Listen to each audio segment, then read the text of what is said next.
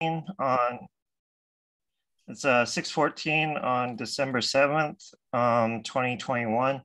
I call this meeting of the Wellfleet Select Board to order in accordance with a temporary suspension and enhancement of the open meeting law as allowed by the General Court of the Commonwealth of Massachusetts. Uh, the um, before we get to our fir fir first order of business, um, I would just like a moment of silence for um, all the servicemen um, who served in, in World War II.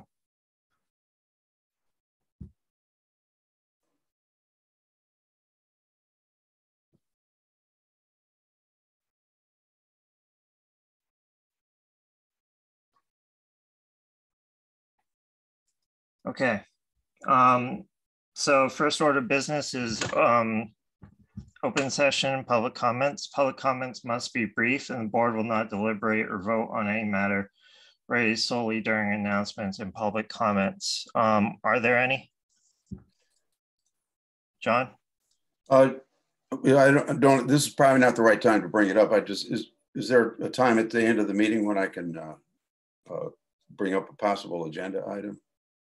Uh, yes. Yep. Okay, I'll wait till then. Okay.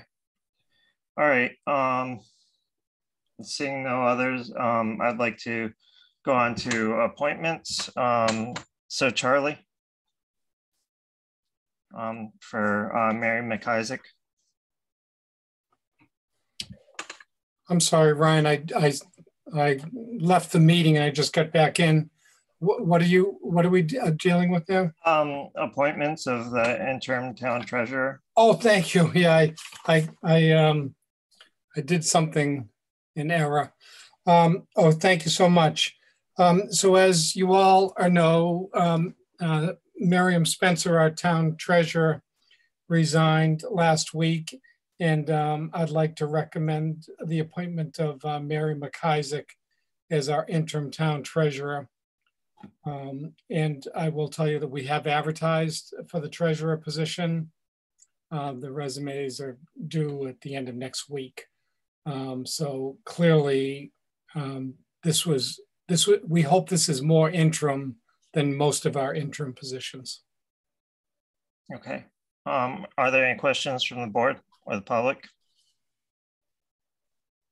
Okay, so um, I move to appoint uh, Mary McIsaac um, as the interim town treasurer. Second.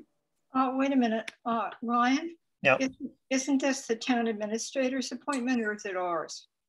Um, I think it's, uh, It, it, it- I'm sorry, it is the town administrators, but you have the two week, yeah. you know, maybe rescission uh, uh, option. I suggest that we take no action, uh, Ryan. mhm. so I, I move to accept uh, the appointment of uh, the interim ta- town treasurer, Mary McIsaac. Um, uh, Except. Or maybe, maybe to support it. administrator. Yep. She, she won't go for support. I've tried that before. Oh, never mind.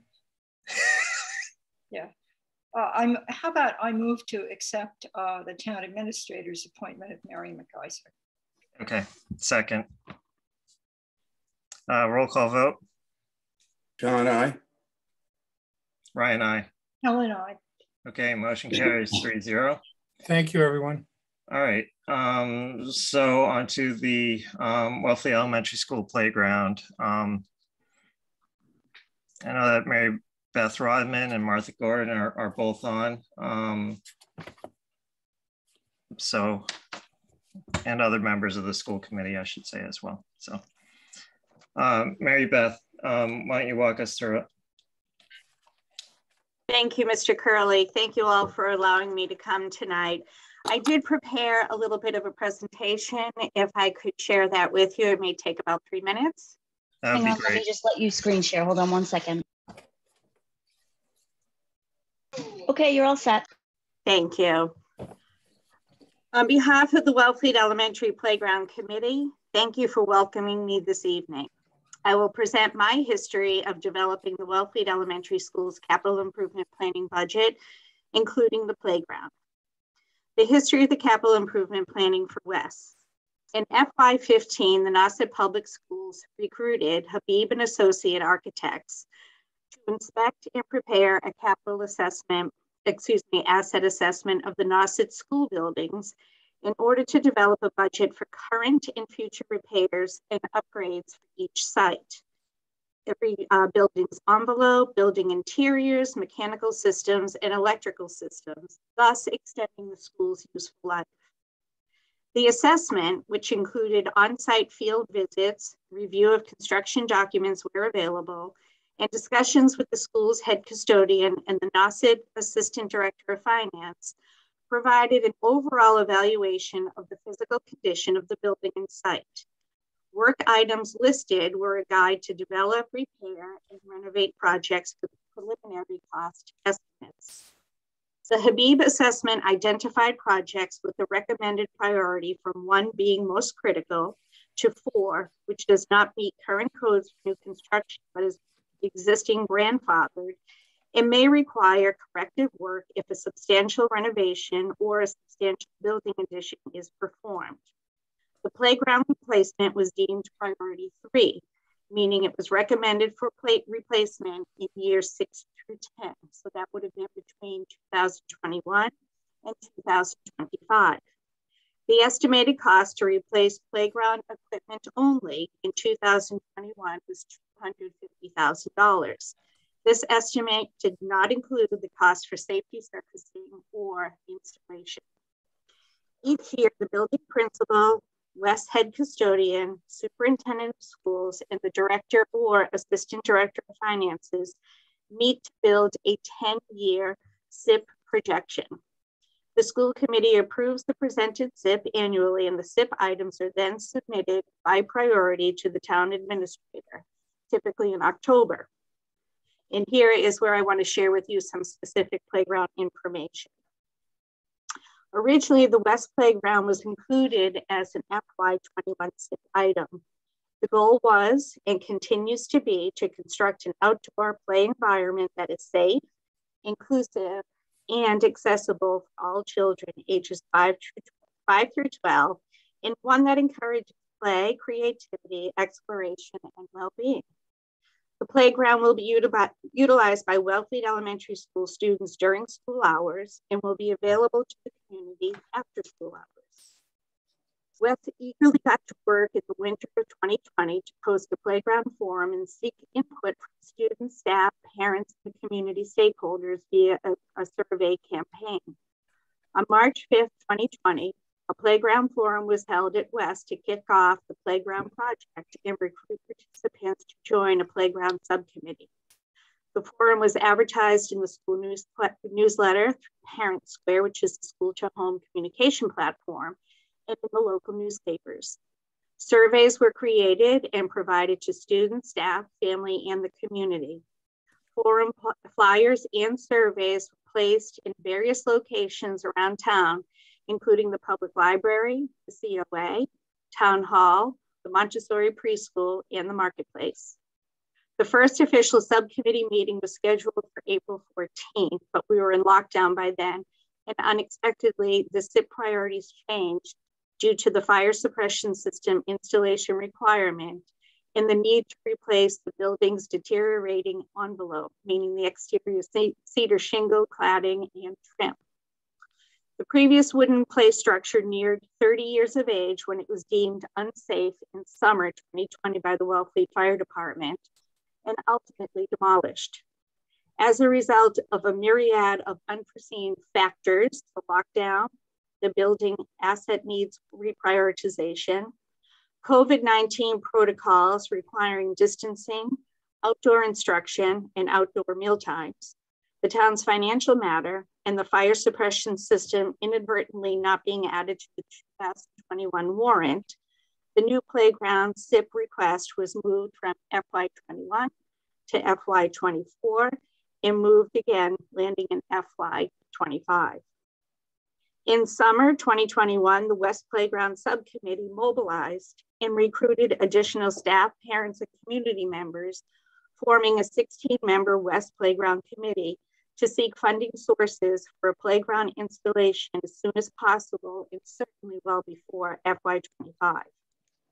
The West Playground Committee reviewed the original survey outcomes and identified the preferred components, established playground outreach subcommittees to commence letters of, for community support and donation writing, and develop the committee's mission to design and install a playground structure that is representative of the community, Cape Cod, and the general locale, environmentally friendly, meets ADA accessibility, inclusivity, equipment installation and surfacing compliance, engages all students ages 5 through 12, encouraging play, creativity, exploration, and well-being.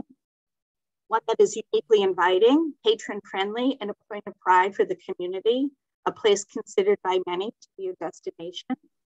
A quality product, creatively designed, and that will serve our children well for many years to come. One of the funding sources that we opted for uh, that is available to us in Massachusetts is community preservation funds. CPC member Ron Fowler heard of Wes's endeavor, um, endeavor this summer and contacted Lisa Holmes, a West Playground Committee member, encouraging our committee to submit an application for community preservation funding for the fall 2021 town meeting. An initial application was submitted in August 2021, and a more comprehensive application was formally submitted on November 5th, 2021. A playground at West will provide, expand, and preserve services for the wealthy community. The purpose of the Community Preservation Act is to help communities preserve open space and historical sites, create affordable housing, and develop outdoor recreational facilities.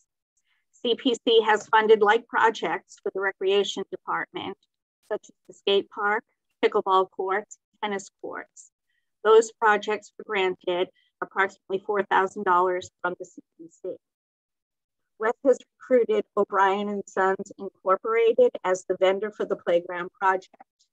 O'Brien and Sons is an approved and vetted vendor on the Massachusetts Higher Education Consortium, of which Nauset is a member. It is worthy to note that the Massachusetts Higher Education Consortium does not require requests for proposals since the consortium has been vetted and is an approved vendor. Like COMMBUYS, MHEC provides members the ability to buy mm-hmm. equipment. Pardon me? I'm sorry, I just coughed. Oh, I'm sorry. Forgive me like COMMBUYS, MHEC provides members the ability to buy equipment direct and at a 5% to 6% discount. Utilizing this nonprofit purchasing consortium uh, was approved by the Wellfleet Procurement, Procurement Office. The quote for the project is now $385,000. The quote includes all costs for site work, safety zone ground products, the structure equipment, installation, and inspection for certification. The plan is to complete uh, the project in its entirety by the summer of 2022. Once the work is underway, the playground can be constructed in just two weeks. The Wellfleet Elementary School Parent Teacher Association, the PTA, typically gives West $10,000 each academic year to offset the cost of field trips and assembly presentations. For this project, we requested the 2020 to 2021 gift be utilized to fund upwards of that $10,000 towards the playground project. The West PTA has created a separate budget line item to receive financial playground contributions. This academic year, the PTA will dedicate revenue earned via their fundraising efforts to the playground project. The PTA anticipates it will successfully raise an additional 5,000 to 7,000 to put toward the project. To date, the PTA, in partnership with the West Playground Committee, has received close to $20,000 in donations from businesses and in-kind giving.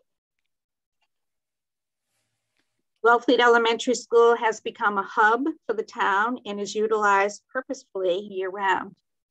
West is utilized, for example, for town meetings, basketball, pickleball, open gym, Saturday toddler gym, flu and COVID-19 vaccine clinics, COVID-19 testing sites, community spaghetti suppers, and parent workshops.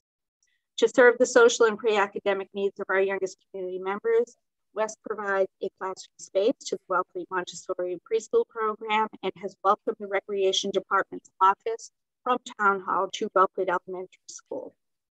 As a result, West and the Recreation Department work closely in planning programs for children and adults. The goal of this partnership is to expand the school's use as an after hours community center, offering interesting, varied, and exciting courses and workshops to engage our community in lifelong learning. Wellfleet is currently seeking ways to attract and retain young families, including the development of affordable housing across the West. Recreational spaces such as the school's playground will be enticing for recruiting young families to town. Thank you. Okay, and you said that you had a presentation? Well, what I share, what I would like to share now are the renderings. Yes, let's do that first before we go to questions. So, so there are different angles of the renderings from O'Brien and Sons.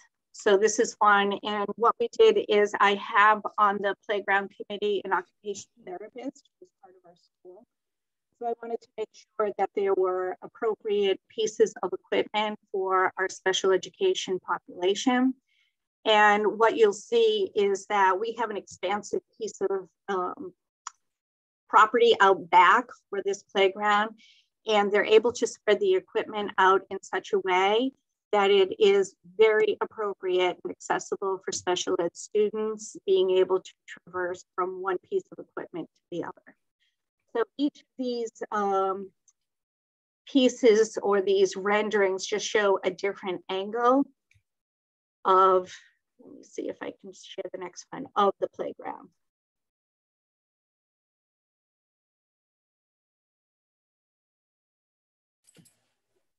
Not sure why I'm not getting all of them here. Let's see. It's a different, a different angle. And to the right of this particular uh, picture would be where the swing sets are. I'm gonna X that one out.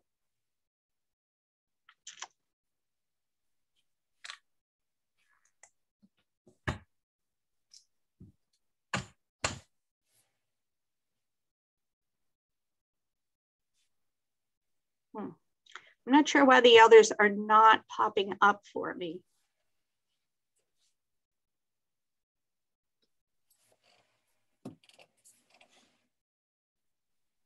Okay. I'm not sure if you can see that one, Mr. Curley. Yep. Can you see that one? Yes. Okay, so you can see where the swings are over here. This here is called a, a zip cruise. And then this is the play structure. These are, this is a spinning piece of equipment for uh, students who need that proprioceptive um, input to know where their body is in space. And as I said, this would be poured in place rubber so that children would be able to traverse easily. Wait, where is the rubber? The beige stuff? Yes. Yes. So tomorrow uh, I am presenting to the CPC at their nine o'clock meeting. And that presentation is similar. And they had received the quote, the renderings. Um, we also had the application, of course, and our surveys, our survey data, an article that was in the uh, Provincetown Independent, an editorial that a parent had written in support of the playground. There's a copy of our original playground forum uh, invitation to folks. So they got a very comprehensive packet. Um, so I, my my main interest is is get playground installed as soon as possible. I believe that's what everybody's interest is right now. So, and what's really amazing when I met with Joe DeFore is the representative, and he is going to present with me tomorrow at CPC. And I was really shocked that once the equipment is in, he would be the project manager. It would only take two weeks for install. So, I mean, potentially this could be in before school even lets out. um, so I'm going to go to Helen. Um, Helen. Hi. Um, Hi. For this, and um, I'm a little embarrassed to be about to say what I'm going to say because so many people have worked so long on it. But um, Ryan, I believe uh, you went to Wellfleet Elementary School. Yes. I did too, and Mike Tedasco did too, but he's not there. Um, I am, I guess I better start with a question through you, Ryan, to Mary Beth. You spoke about surfacing compliance. Does that mean that anything under and around the kind of equipment you have here has to be soft and doesn't hurt people if they fall on it? Is that what that is? Correct. Oh, sorry. Yes? Okay. Uh, So I yes. have a couple of points about this. That rubber horrifies me. First of all, it doesn't give as well as sand. I know what's under that rubber, which is frankly less green, the rubber, than sand. It's sand. It's good, clean Cape Cod sand, and it's deep and it gives. Even if you jump off a swing that's as high as it can go and land on it. Second thing, that rubber is slipperier in wet weather. Sand just absorbs, you know, the water. Sand doesn't have to be replaced. And I am kind of shocked that you would want kids playing on that kind of surface at all. I'm not sure where this is coming from, but having used that playground for five solid years, hard with very little equipment to play in, by the way, we mainly did games, which was a very big social benefit for kids. Um, the pavement, some pavement is good because you can do hopscotch and a few other things.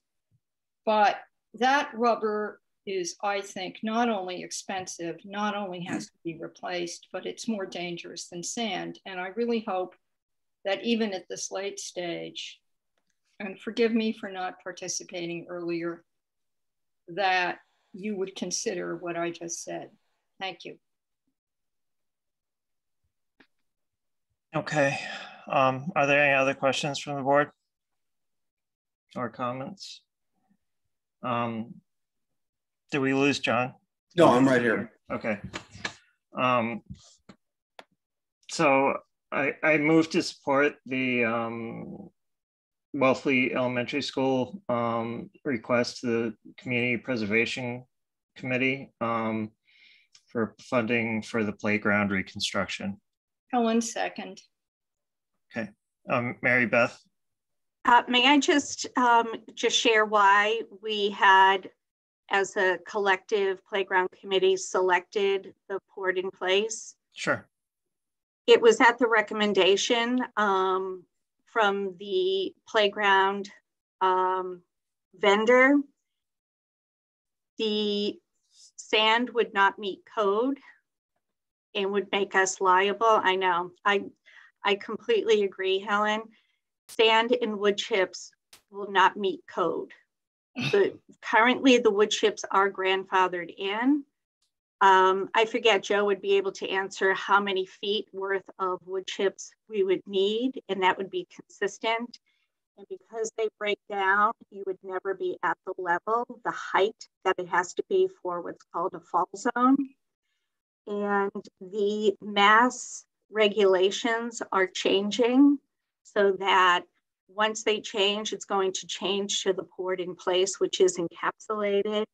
It's supposed to not have, need any repairs for 12 to 15 years. So it's the direction that the state is going in. They had anticipated that that would have passed back in 2019, 2020. I don't know if COVID had um, impacted that, But until somebody files a complaint, if they have now the regs have changed, once somebody files a complaint, even what we're grandfathered in with being the wood chips, we would be held liable. So I agree. I would much rather a natural product, sand especially. They're just not going to, we might not be able to get certification for it, which is the unfortunate part. Thank you. You're welcome. I'm Okay. horrified. Thank I know, I know. I would much rather sand or, or wood chips as well. If I may, Ryan, wood chips, I would not feel safe playing on. And that's what we currently have. And they have splinters. Yeah. Thank you. And we have to replace those every year, upwards of four thousand dollars out of our operating budget. Exactly, exactly.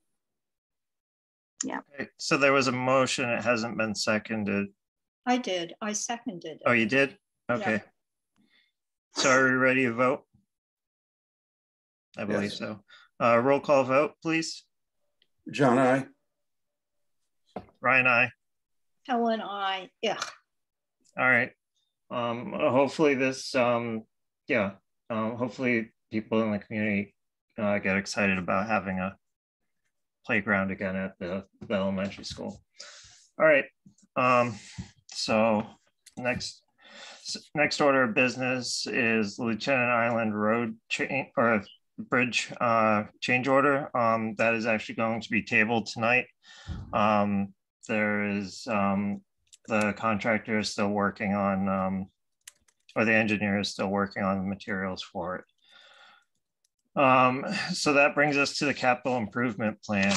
Um, so uh, Charlie, can you uh, go through your your executive summary? Uh, Yes, thank you, Ryan. Um, So uh, we, as you know, we met with all of the various department heads um, and um, in, in early October, late September. And um, we worked to put this uh, capital plan together uh, for the Finance Committee and the Select Board. Now, when I will just maybe upfront um, make um, a- couple of notes. Now, within the capital plan for the elementary school, um, I had included um, their um, detailed plan um, from uh, October 10th. And they had given me um, an update um, that I inadvertently didn't insert in the booklet. And I think we, uh, so we'll get you a copy of that. But, but the, um, I think the important thing is the spreadsheet in the summary page um, that I had been using does include the higher numbers for the sidewall shingling in the fire suppression system. So um, the detail that you have is, is flawed because of a mistake that I made. Uh, but the overall plan includes um, the information that they that they um, wanted to present to the town. And also on the fire suppression system, which is really the biggest project that we have facing us. We did have a meeting, I believe, last week with um, school officials in, in their um, professional staff. And it looks like that that number will probably increase from $2 million to $2.2 million.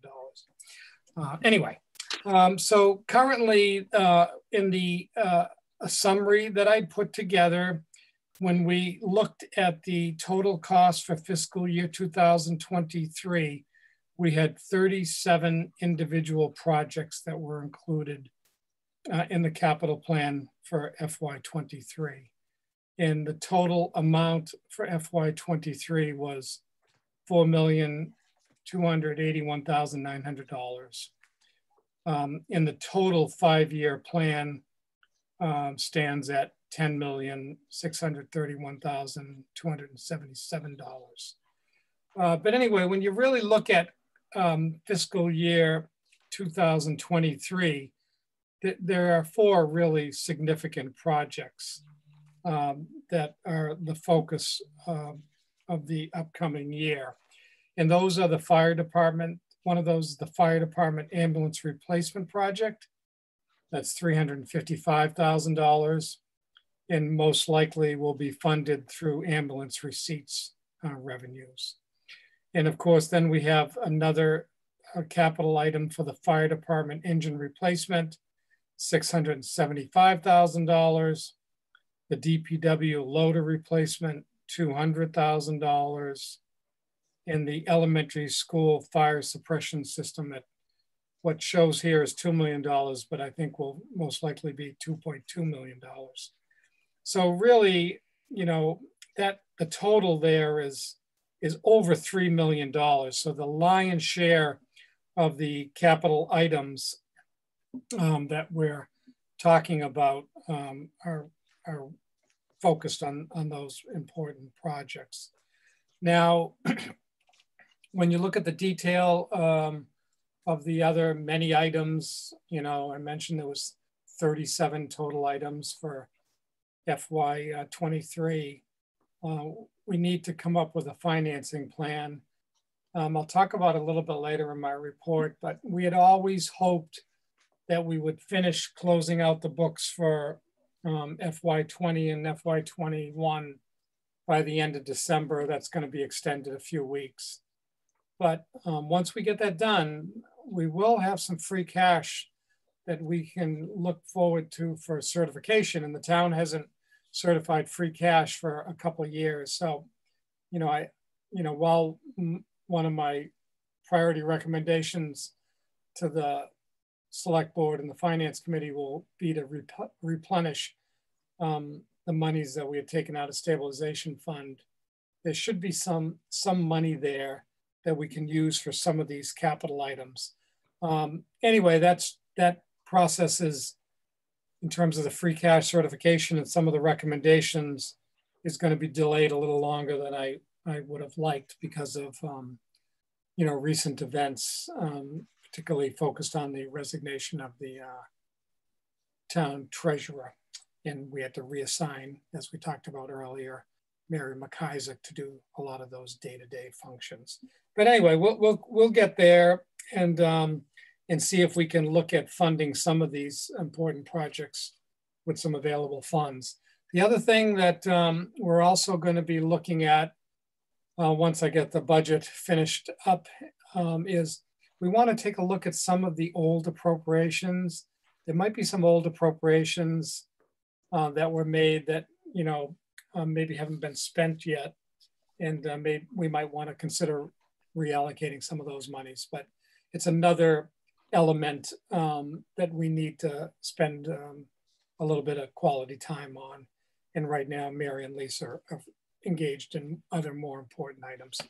Um, the only other thing I should have mentioned as well is there is an addition that is not included in the booklet in the um, overall document that you received. Um, and, and, that is the library um, did submit a um, a capital improvement request and it included three items for FY23, 24, and 25. The, the significant item for FY23 was $35,000 for, um, for library uh, public computer area information commons, some upgrades to the equipment and um, software for that. So I don't think we've given that to you yet, but uh, we'll, we'll get that to you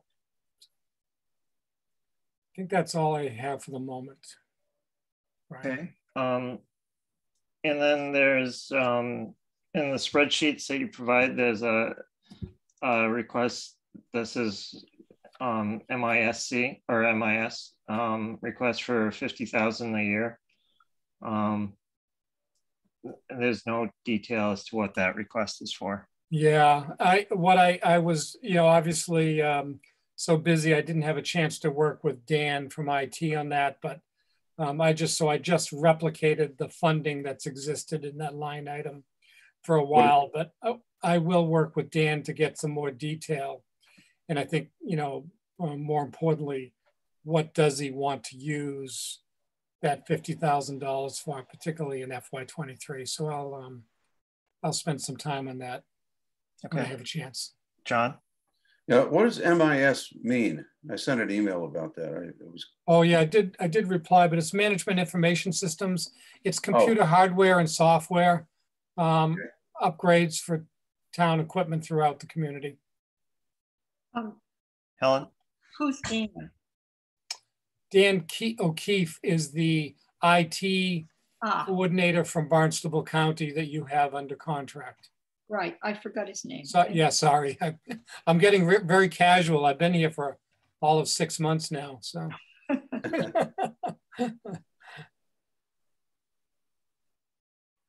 And then I, I just have one general comment. Um, there's a number of um, line items that seem to be at the same level every year. Yeah, Um, at that point, to me, that becomes part of the operations budget and not uh, capital anymore.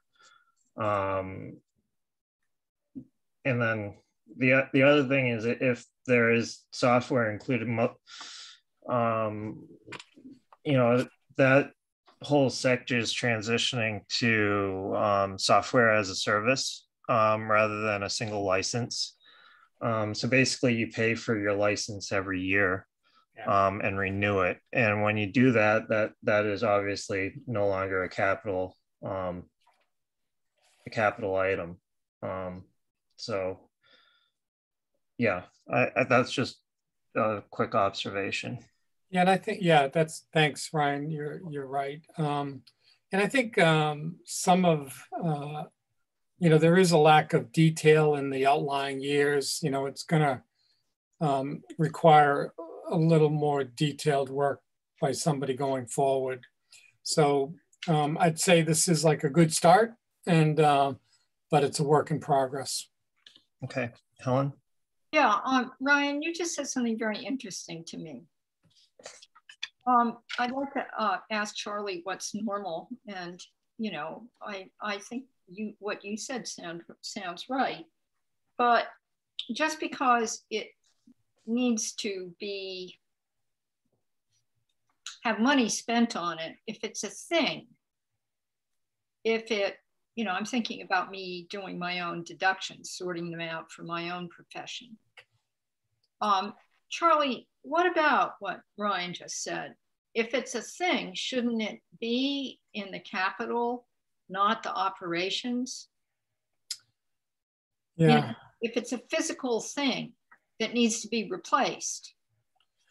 Yeah, I, you know, it's funny. Um, I think every town has little practices. Uh, like I'll tell you, in in in Brewster, you know, police cruises really only last like a year and a half, and we really, you know, they put so many operational hours and miles on them so quickly. So we really looked at those as operational costs, you know, in the end of the day. Well, what does the state say? Hmm? What does the state say? I, I, I, I don't know, Helen. I, I, um, you know, I'm a little stale and dated on some of this stuff. I, I will say that the uh, Cape Managers, it has a meeting on Thursday that I'm going to try to attend. And maybe I'll ask some of the other communities what they do on some of these fronts. But it is true. I mean, there are software and sort of annual costs buried into this capital plan. It's just been your practice and it might be a good time to um, really discuss those in a little bit more detail. Some of these things, you know, and I was talking to um, Fred McGee, the chair of the finance committee, and like he said to me, some of the items, if you look at their report, some of the items in here are the engineering and the feasibility study phases of a capital project. And they really shouldn't be in the capital plan. They should, you know, those should be raised um, within a warrant article. So I think um, I think it's evolving and it needs a lot more work. Um, but I will reach out to some of the other communities when we meet on Thursday to see how they handle some of these items. I would very much like to know what the state's opinion about it is because I bet they have one and I'm just trying to be attentive here. I'm not saying you're Hmm. not right. I'm just saying I would go to the state also and just say, what do we do about this? What would you like us to do? Yeah, thank you. I, I, I will ask that because the, the, as you know, the Department of Revenue has been really very helpful. And I just want to say that publicly. We're very grateful for all the support. I will, when I get a chance to talk to them again on some other matters, ask them if they have some guidance in that area too. So that's that's another good, um, you know, way to evaluate what we do. Yeah, I, I believe the standard is if it's a capital item, it has to provide value for five years. If it's Yeah. fully depreciated before that, then it's no longer a capital item, Yeah. usually. Um, John? Yeah, I, uh, is this the appropriate forum or the appropriate time to uh, raise specific line item questions, or is is this like you Um, say? We're gonna go through the, the plan in a minute. So this is just the executive summary and the, Oh, okay. okay? Yep. All right. Um, yeah. All right. So um, the first one is for the shellfish department. Um, um, I see um, the Wellfleet Shellfish Department on. Um, is Yeah. it Jordan or Johnny? It's Chris. Chris? Okay. I'm not sure. So, Hey, Chris. Hey, what's up? Good evening, everyone. You want a little video? What's this? this thing? Sure. Ta-da! There, little cat too. Oh, pussy cat. Yeah. How can I help this evening? okay. Um, so the um, finance committee had a number of recommendations as well. Um, there are a couple that I'm concerned about. Um, so the the shellfish and beach um, office. Mhm. Uh, to m- me, that place almost needs a, a renovation um, rather than you know ma- simple maintenance or. Um, I, I would rather see you know uh, you know renovation of that and potentially adding a, a second floor to provide additional space for the two departments um, that would make sense to me I, I know it's not an area that you can use to work on gear though No. that. Yeah, I wanted to basically stop the uh, leak for possible mo- mold and uh, more water damage. That's what I was told. You know, experienced that with the other building where we were infested with mold and it eventually destroyed our furnace. So, Yep. but yeah, no one ever mentioned to me the uh, possibility of a whole nother renovation building. okay helen Yeah, so we're talking about the building, which also houses the, you know, the beach permit stuff. Mhm. Is that what we're referring to? yes Yeah, Yeah, and um, I've always felt that the second floor of that building was wasted space and it should be all brought up to usefulness and that the shellfish department needs more space. And um, that's what I think. So whether you call it a renovation or repair, it needs to be made more humanly usable and you need a little helen looks like she froze She is frozen. yep uh, now she's moving there we go. Yeah, which part of my rant was I cut off at? I need uh, the place to be humanly acceptable for the our departments. Yes, and need more room because I've spent time downstairs and you're all doing very well. But you need more room and you particularly need a building where archives and whatever stuff is still on paper has to be safe. Mhm. And I would say that the second floor would give you that. When I first asked about the second floor, I was told, oh, that's where the marina, you know, where the harbor master, where there's equipment, marina equipment and so forth that is on that second floor, but surely, um, surely the shellfish department should have an equal opportunity. My next question is, what's its status right now, Chris? In other words, are you paying rent still to the Marina Enterprise Fund? What's going on with it? Did some change? I'm not sure exactly the process. I think Will knows that, but uh, or or Nancy herself. But I believe that maybe we play some utilities. I'm not exactly sure what we do there, but Okay. that, that that answer. Uh, Will has his hand up. Okay, thank you. I, I might be able to help out with that a little. Um, so the the shellfish department uh, currently pays the marina five thousand a year, and the beach department pays the marina ten thousand a year for the use of the buildings. Um, in return, the marina pays all of the utilities, uh, propane uh, for the heat, um, uh, the water for the toilets and septic and all that. Um, we also do the septic pumping in that building. So pretty much what that equals our cost a year to run any electricity, sorry. What that equals is basically what the two departments have been paying. And when the last uh, round of administrations was and accounting was coming through this, they were trying to figure out a, a, good way to break this up and not have the town paying the town to, to be landlord to the town. Um, cause it, it, it, just even explaining that is your life. So yeah, that that's, that's where that currently sits right now. And so we, we would like kind of the if, if shellfish in the in the beach department and, and they see their plans being cohesive um, we, we really don't have anything stored in the building. The building's not really it used to be rented privately obviously for i don't know what the sums were back back in, in the days. And it would really be more beneficial if if that was their town department buildings instead of this you know quasi agreements of you know tenantship and, and landlordship it would be more beneficial to the town to to take it over and, and have it as their own department. I mean they use it they function well there and you know have at it. Um, so I would say a follow-up question, not related to the rent, um, is um, how much would it cost just to repair the leak for the time being and then look at a, um, you know, a renovation of the structure and, and, I think a proposal given was 42 grand yep, for repair.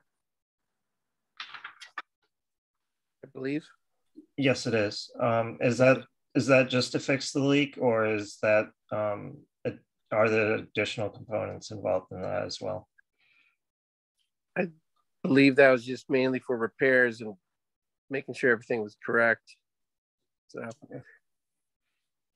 All right. Um, so I, I move to approve the Shellfish Department's request for uh, repairs to the Shellfish and Beach Office Building. Ellen second. Okay, roll call vote. John, aye. Brian, aye. Ellen, aye. Um, so replacement of Shellfish truck. um, We put this off, I believe we put it off last year, didn't we? I couldn't answer that, but it's coming up this year, and yes, I would. I believe so. Okay, are there any comments on the Shellfish truck?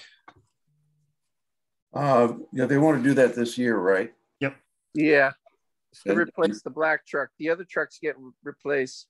So we try to have this rotation. It was uh back when Walton was here, Mark Vincent recommended two years replacement for trade-in, and currently Mark Vincent with Nancy, they requested like five years would be good, just to keep it legit. And, And we need to factor in the fact that it'll probably take a while to get it because of. oh yeah, with every just there's already backup from the shipping and everything. So Okay.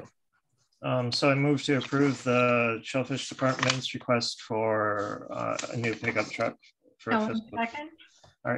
Uh, roll call vote. John, aye. Brian, aye. Ellen, aye. Um, Michael is actually here. okay. Hey, Hi, Mike, Hi, I'll just abstain from that one. from the Shellfish. All right. Might as well. You timed it well, so. Um. the old shellfish office. Well, wait a minute. I, I just asked about that. So, The old shellfish building? yes, Why is this even on? he- Excuse me, sorry. Yeah, I think that was just she Sorry. wanted to focus on that, and that was just focus on this year that stuff. And this is for, um, this is for this coming fiscal year, FY twenty-three. Yeah. Um, It says here 2024. On Yeah. the, the worksheet, it says it's FY twenty-three. for the old building. Yep. Yeah, it shouldn't be there for that. It's On, it's on, um, twenty twenty-four, yeah. Yeah, that should be 24. Okay. Sorry. Twenty-four. Okay, um, so before, so the shellfish, I mean, this building's gone before town meeting a number of times and every time. Um, whatever's been proposed gets turned down, um, so, um. I don't know, I move that we take no action on this and that we do not fund any repair on it until we decide whether we want to demolish it again for the fourth or fifth time. um, Mike, Yeah, uh, so this kind of was supposedly under consideration by a ad hoc committee to sort of come up with some plan to bring back to the select board. And that happened, you know, right before COVID. So I don't know what the status is with that, but, but we should probably get in touch with them and see where they're at on that. Um, you know, every year that goes by, the building gets in worse condition but there's never been presented a plan other than originally to uh, bring it back to its former glory um, and rehabilitate it uh, back to what it was with which would require a septic and, and all sorts of other stuff. So i know there's been some some consideration of of re envisioning the use of it without you know public without uh, restroom facilities and stuff like that but I, I don't really know so. Helen, The place that, this has been looked at so carefully, it's been appraised. Uh, When I was on the select board, like seven years ago, six years ago, we really looked into it. We did decent site visits. We looked into every aspect of it. It's been discussed over and over. And it's in the floodplain. And I would like to take that building and give that spot back to the beach. And we do not need another building to maintain in that spot at all. And uh, I'm not, I'm so angry about this in a funny way that I can barely speak. I, I just hope we don't vote to fund it in 2024. Certainly, Mike, if the committee's been working on it, fine, but we haven't heard from them. And I think there's no reasonable use for it. Uh, you know, maybe some equipment, you know, storage and stuff by the shellfish department. Well, that is just not a very nice place for anybody to be. And let me tell you, the mold issue was a contractual problem. It- having anybody work on there because of the degree of mold and what you have to do to treat the mold. There's a lot of paperwork on this. Is not something we should subject our employees to, even if they feel like it. Thank you. Sorry to sound so pissed uh, Mike, Yeah, uh, actually, there was discussion of turning this into a sort of uh, changing room, bathhouse type situation with an outdoor shower. So there is a potential use, and it would involve stripping all of the moldy sheetrock because that's where the mold is out of the building, and uh, it's just black mold. But I, at this point, I I think rather than you know going on and on about it, we should probably uh, table it for now. okay, so I'll second Helen's motion, which was to table it. Um, so roll call vote, John, aye. Ryan, aye. Helen, aye. Michael, aye. Okay, motion carries four zero. Uh, to table. Um, so the uh, floating upweller, um, the the um, finance committee did did say that there was a potential one that the town might be able to get for free from Truro. Um, can you um, fill us in on that, Chris? I believe the one they have in Truro is our old one. yeah.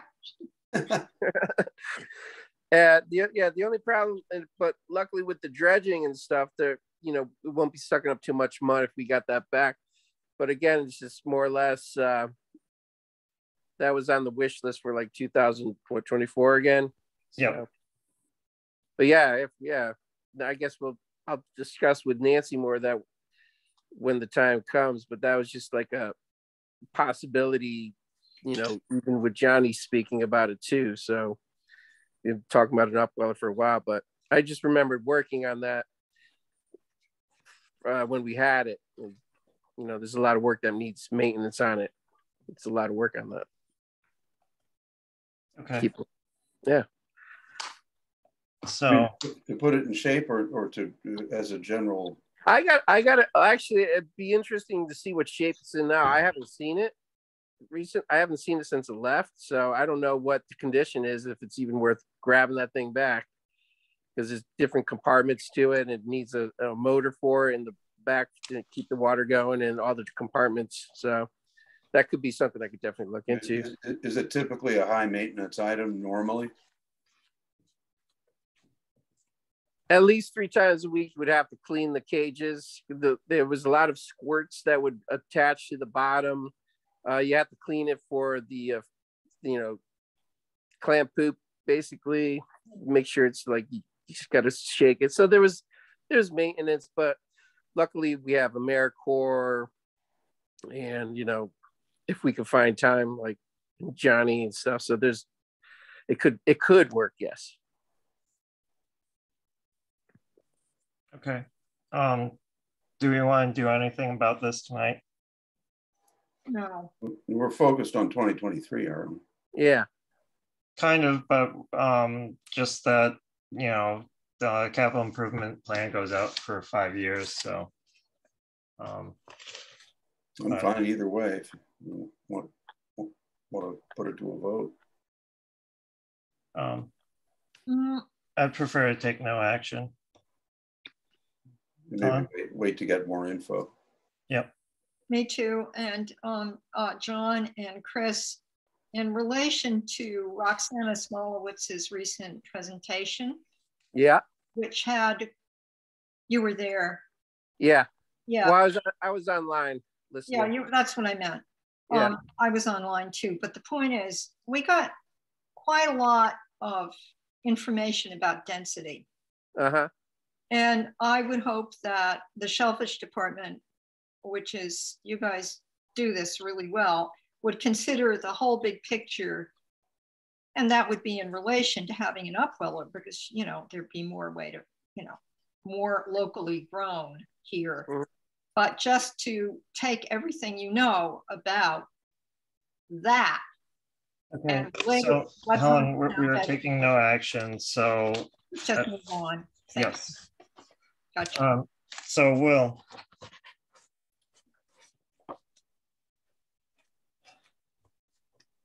So harbor master, um. So you have a, just gone through this, so. Okay, ice machine is being researched. Yeah, the the ice machine we've gone back and forth a few times with, but basically with the ice machine, um, it's been brought back that that there's a demand for it. Um, but being an enterprise fund, we need a um, you know cost estimates and things like that. But we need a, a real feasibility study um, for that um, to see what the you know financial aspect of it is. Um, we we are caught in between the service to the town, but also um, profitability. So it, rock and a hard place with that. Okay, um, and then, so then, I guess the, the boom truck, Yeah, that would be the the white one that you see rotting on the pier. Um, it's uh, we replaced the winch. Um, it is not inspectable. It is not roadworthy. Um, the winch works on it nice and strong, but but that's about uh, it right now. Um, the, the frame's dilapidated on that vehicle. And uh, if we if we want to keep that that sort of thing, the ability to pick up you know heavy objects and move them around, not not too heavy, it's not crane, but um, you know under a thousand pounds, just to move it around the docks, we'll, we'll need something like that. Okay, uh, Helen. Yeah, a couple of things. Um, uh, the saltwater ice machine came up when Vibrio, the whole Vibrio thing kicked in. And there is another municipalities, Provincetown, Chatham, I forget. Before you do a feasibility study or in conjunction with it, get their data. But I remember a lot of people spoke very carefully and in detail about the advantages of having the saltwater ice and that it be available and who would maintain it. And at the time, the marina said yes, but that doesn't never sounded to me to be practical. So I hope we get it, and I hope that one of you remembers which town already has one. Thank you. Okay, well, I, I prefer to take no action because basically it has, this is more research is needed. I don't see why we're discussing, yeah, the type of ice it might make. Um, so uh, to the boom truck, um, and uh, the finance committee did recommend to for this replacement as well. Um, would this be funded uh, through the Marina Enterprise Fund or um, by the town itself? I would hope to be able to fund that with with the marina itself, um, being as you know what it is and what its use is for. Um, that would just come into how we could arrange that in the budget. Okay, um, so I move to approve uh, the Harbor Master's request uh, to replace the 20, 2003 um, boom truck. John, second. Okay, roll call vote, please. John, aye. Michael, aye. Ryan, aye. Helen, aye. Okay, motion carries 4-0. Um, we'll skip the um, the pickup truck replacement because that's still a ways out. Um, the uh, I guess portable radio repairs or replacement. Um, so what's the average or what's the life of, of a radio? That I that that I could not tell you. Um, I know the ones we have are on their way out and they're obsolete. Um, we actually currently, as of this meeting, we don't actually have a working one uh, to communicate with the fire and police department. Um, the lifespan, the ones we have are pretty old. Um, I remember, let's see, I was on the, I was on East End Fire Department 20 years ago. We had those radios. Um, so they're probably about that old and uh, they've lasted this long. But these are these are to communicate with police and fire and well Wellfleet. Okay, so um, I would just say that um, it seems that the emergency response departments um, are regularly replacing radios, um, and it would make more sense to me if it if it ended up as uh, operational uh, in the ops budget as opposed to a budget coming out of capital funds. Um, but uh, John? Yeah, the and read, excuse me. in reading through uh, the other departments, it's evident that the police and fire departments radios are not only uh, reaching the end of their useful life, their manufacturers are no longer supporting them with uh, repairs and parts. And uh, that's probably going to be found to be true for the marinas radios. And I know the the uh, ship to shore radio on my boat is from 2006, and that's starting to give me trouble. So it's probably a good plan to coordinate the replacement of these radios with the other departments. Okay, uh, so I move to to approve the harbor master's request for uh, radio replacements. Helen second. Okay, roll call vote. John, aye. Ryan, aye. Michael, aye. Helen? Aye. Okay, motion carries four zero. Um, so the hire a needs assessment assessment consultant. Um, I guess this probably doesn't belong in uh, capital um, improvement plan. Um, No. I would say that um, until the Marina um, Advisory Committee completes the work that was requested of them, um, I'm hesitant to fund a, a consultant. Um, John? That, that was, uh, I, I, I kind of highlighted this in red when I was reading through it, that uh, it seems that that's why we have a Marina Advisory Committee. Um, And yeah, I'd like to wait until we get all on the same page with this and see what they have to say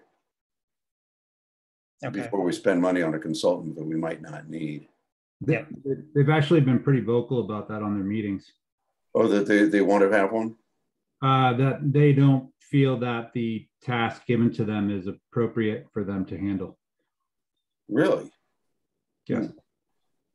Well, uh, yeah, I'm gonna request to be on, on an agenda for them, for the advisory committee to just sort of go over what we're looking for, because I think there was some confusion about uh, the select board asking them to come up with a, basic management plan and them uh, sort of think, uh, at least Joe, uh, thinking that we were asking them to come up with a, a marina master plan, which would be sort of what you'd hope that would come out of a management plan in the future, where you may need consulting uh, to sort of determine or or some or to pay for some feasibility studies to determine if things that are the goals and and wants of uh, of the committee um, to be implemented a- and, the harbor master as well. So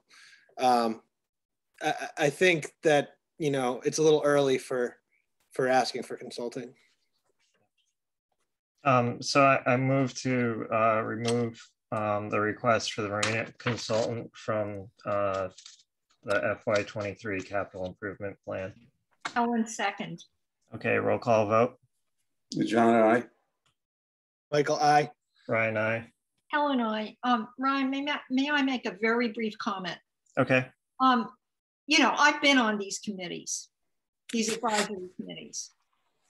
And you can, within the committee, you can sort yourselves out and do a whole lot of research. You can check in with other municipalities and you don't need a consultant. I mean, you might have to have some questions answered by someone who knows more. You can invite them in and have a session with them.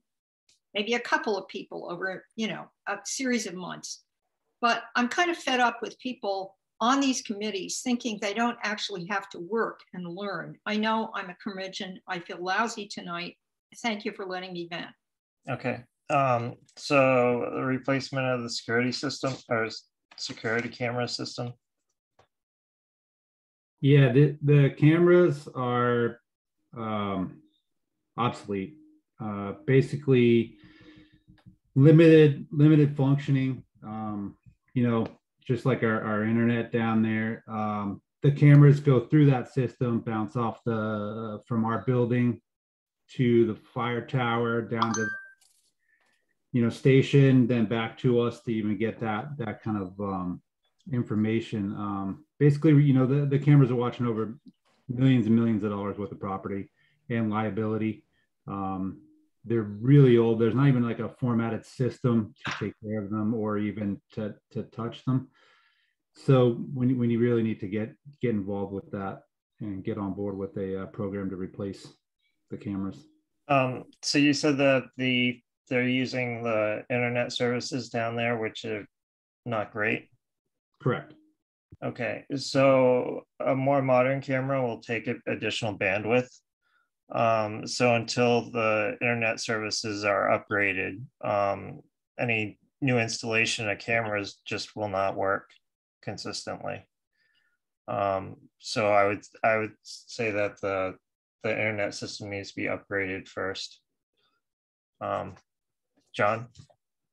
Yeah, I was, I was going to say, if they're tied in together, uh, is there a way that this can be um, brought into this uh, into into this proposal to upgrade the internet at the same time? Because uh, it would be nice to get that, but get both of them done. They, I, I agree with, uh, with the harbor master. Really is long overdue. Okay. It's a, Uh, it's a Will, mess. Do you have any response to that?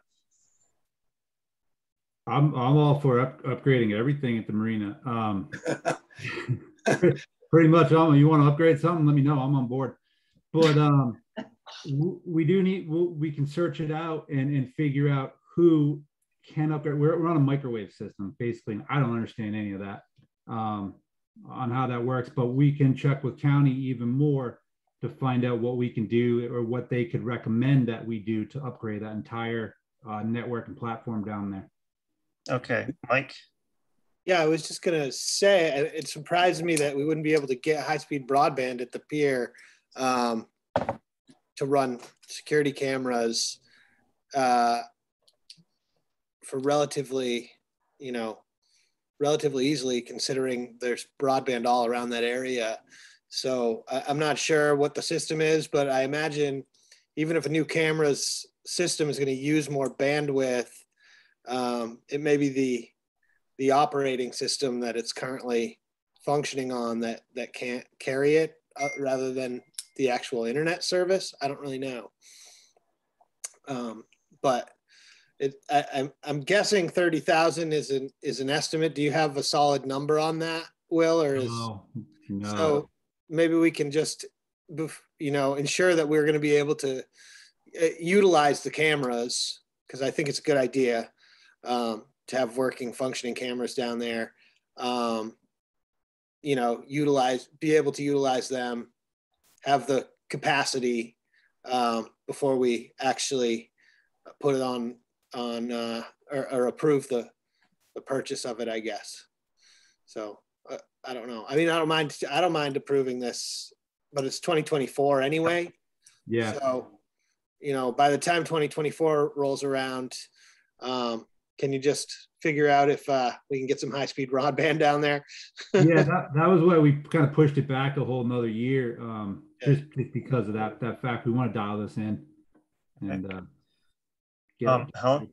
Yeah, um, You, I heard what you said, Will, uh, about needing the surveillance, and you need it now. Uh, through you to Charlie, um, through you, Ryan, to Charlie. Charlie, I mean, isn't this what IT does in part? Can't you send IT down there or get him or her?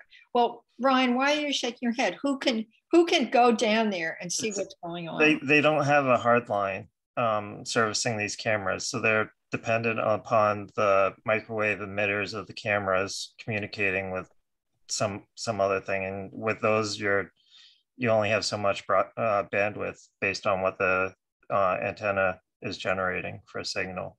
Yes, but my point is, um, isn't there some workaround that some techie tech person can figure out? No. Okay, great. Thank you. I mean, the workaround would be installing cables. Okay, how much does that cost? You know, yeah, I was gonna say, it might be worth having someone from Barnstable County and OpenCape take a look at it with Will and myself. So maybe I can work on that with Will.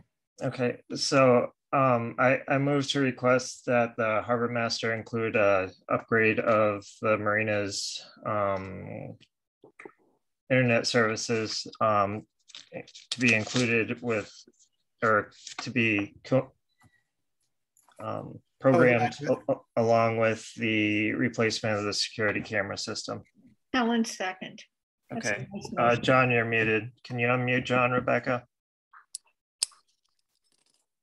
Okay, uh, roll call vote. Okay, roll Oh, call vote. oh, John, I- John, aye. Okay, Michael, aye. Ryan, aye. Helen, aye. Okay, motion carries four zero. Um, the skiff we can skip, um, because that's a ways out.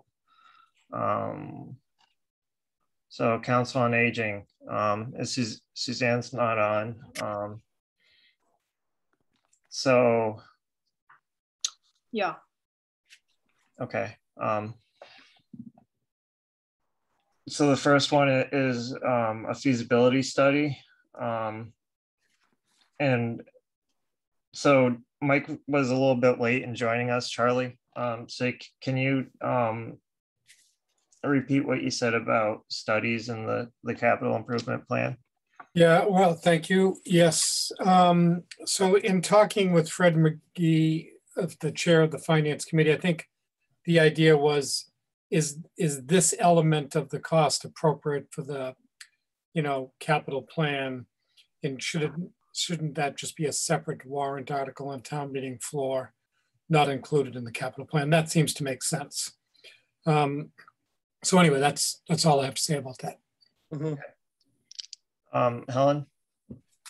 Uh, okay, are we still doing the feasibility study? I'm interested in the second one. We're still doing the feasibility study right now. I would like to table it. Okay. Um, where are the other board members on that? Yeah, I mean, I think it probably isn't capital improvement. Okay. Okay, so I move to table uh, the feasibility study for the adult community center. Helen second. Okay, roll call vote. John, aye. Michael, aye. Ryan, aye. Helen, aye. Okay, um, so the um, air scrubbers on the HVAC system. Um, so I'm actually going to ask Jay a question first before we get into this. So Jay, let's see if I ca- catch him napping or not. no, you're good. Um, so as part of the DPW facilities um, request, it includes uh, upgrade of the HVAC system um, at the senior center or at the adult community center as well. Um, so I'm a little confused why there are two separate requests for um, for upgrading the HVAC system in some shape or form. And you're muted. Can you unmute him, Rebecca?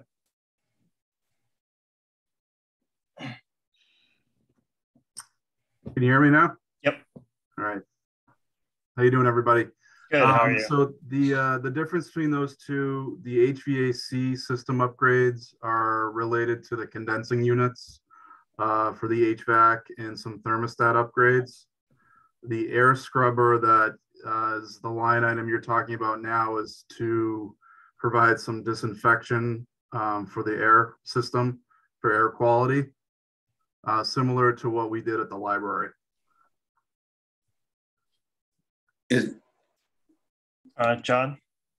uh, is this related to some of the mold issues that we saw when you took, uh, you know, a few of us around to show us the, uh, or, or when we, we, we we went over to the COA, this is back in uh, early July. No, this is related to more, it's more of a COVID thing, um, just to clean the air from particulates, viruses, bacteria, um, that type of system. It, it uses UV light to disinfect the air. Right. Um, so that the mold that you guys saw was mainly mildew. I went over there after. Um, we do have that the air ducts inspected every year and cleaned out. Um, and it was also very very humid that day you guys were there. So this is this is more just for general air quality, but it, it would kill mold if it was present in the in the air. The condensing unit issues are what? They're just aging out? Yeah. Okay. Uh, Mike? Yeah, I was just wondering if there's, you know, funding available for something like this through um, the uh, most recent COVID bill where there's money sort of trickling out and we should probably keep an eye on that um, because it is exactly the type of things that I think were intended to be funded um, through uh, the American Rescue Plan. I think, is that what it was called? ARPA?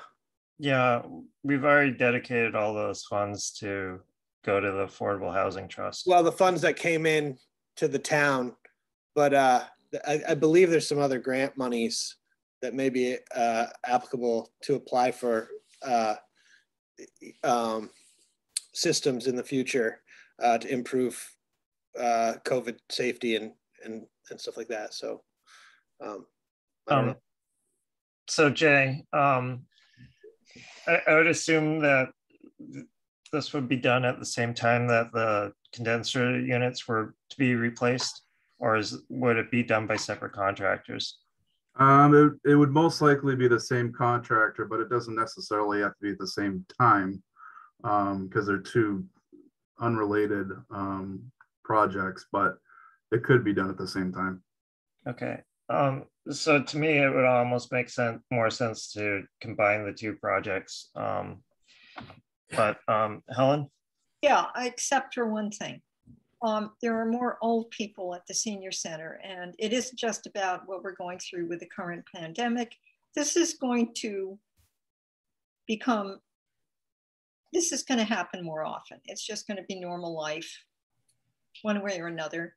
And I feel that all public buildings should have improved ventilation. It's all about that, particularly if we're going to be told we have to go back to live meetings. Um, but the senior center is different because although I feel all our workplaces should have improved ventilation that addresses this kind of thing, pathogens. The places where old people congregate, particularly if they're exercising, doing yoga, dancing, doing whatever they do, we know what the COA is used for often. Um, really needs, despite the high ceilings, really needs extra attention. So I think that we should go ahead and do it as soon as possible. Thank you. um, so I moved to combine the um, air filtration system upgrade um, with the HVAC system upgrade at the adult community center. Helen second. Okay, roll call vote. John, aye. Michael, aye. Ryan, aye. Helen, aye. Okay, motion carries four zero. Um, I, I guess I would, so that we don't have to do it later, I move to um, approve the HVAC system upgrades for the adult community center. Second, To, to, Roll call vote. John, aye. Ryan, aye. Michael, aye. Helen, aye. Okay, motion carries four zero. Uh, also, I was mistaken. The grant that I was looking at prior was uh, first for schools and education systems. So I don't know if it's applicable.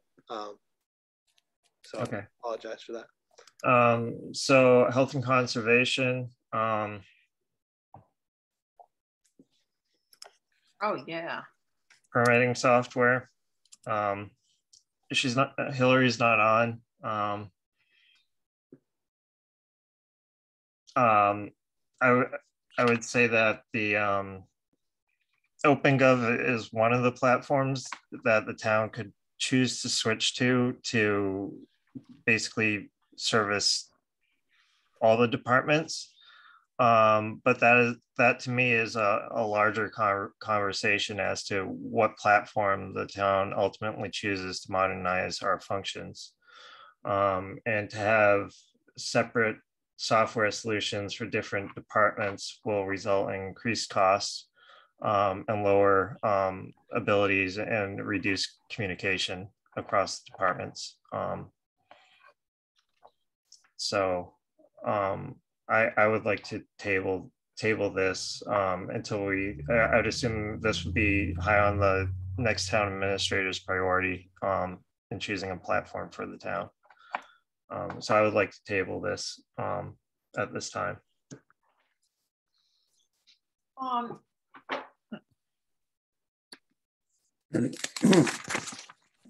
Yes, Helen? um, I feel uh, it, what you say sounds sensible, Ryan, but I'm uneasy because Hillary isn't here.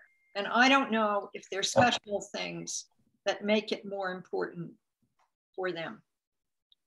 And it's unfortunate, but I would like not to table it, but maybe ultimately not pass it on to the next stage when we get input from Hillary.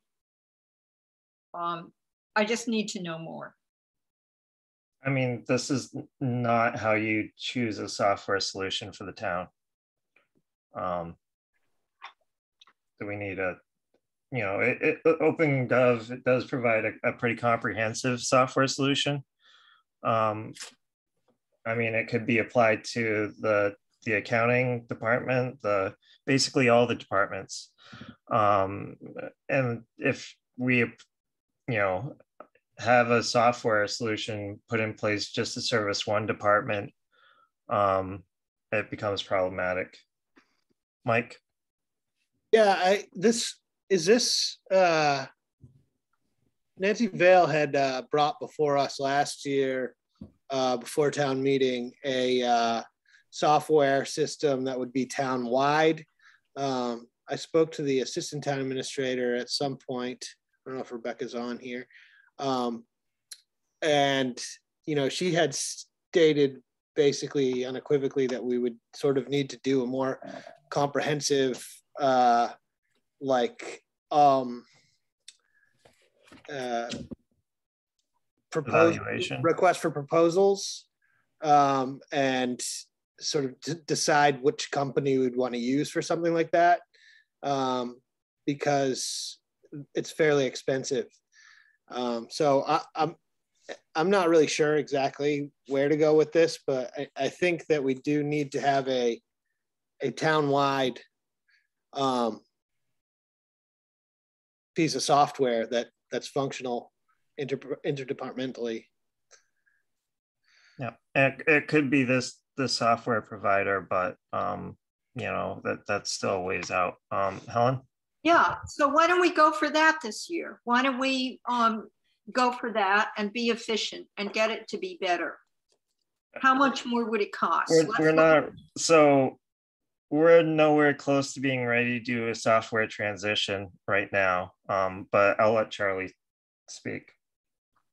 Yeah, there's no argument, right? Um, that um, it seems that um, that we, we need to move to a platform uh, that's comprehensive and global throughout the community. So Hillary's right. We need to do something. I, I just you're not going to be ready for the 2022 annual town meeting. So, and and and frankly, I don't have the expertise or skills or time, more importantly, to work collaboratively with everybody. But maybe we can start that process of having our department heads, maybe um, using Rebecca roughly uh, to really go out and evaluate um, systems and vendors and report back to the select board mm. um, and give you a better sense of where you want to go over time. Yeah, because if we do a software implementation and then next year we decide to do a different software implementation, um, I mean, you're basically it, money down the drain. Yeah. Um, Rebecca Eldridge. I just wanted to let you know that Hillary was on the call. Okay. Oh. No, Hillary is here. Yeah, she just joined. Um, so I, I would move to table this. Um, so I move to table um, the request for implementing OpenGov um, for the Health and Conservation Department. John, second. Can we hear from Hillary briefly uh, this during this discussion gap moment, please? Okay, uh, Hillary, would you care to speak on this at all? Can you try unmuting her? Yep, she's unmuted. She just has to do it. Okay. Um, there she is. Can you hear me? Yep. Yep. So we had put in the capital request. I think this is the second year um, that we're requesting this, and it's online permitting software. It's imperative for the functionality of our department and efficiency. Um, I think it would make the departments, health, building, and conservation run uh, a lot smoother with lack of redundancy amongst office staff searching for permits, searching for information. Um, and it would take our departments to a new level and offer new services. Yeah, I mean, I, I, again, you know, this is something that the town has to implement a town-wide solution for. Um, and to continue to have different departments use different solutions is is not the way forward. It, it could definitely be OpenGov. Um, they're you know they have a number of implementations for a number of Massachusetts towns, um, but at, at a, I mean we're just not ready right now to do it to to do a town-wide software implementation. Um, Well, I think though, Ryan, our thought was that whatever sections of the OpenGov we get now, it can be added to.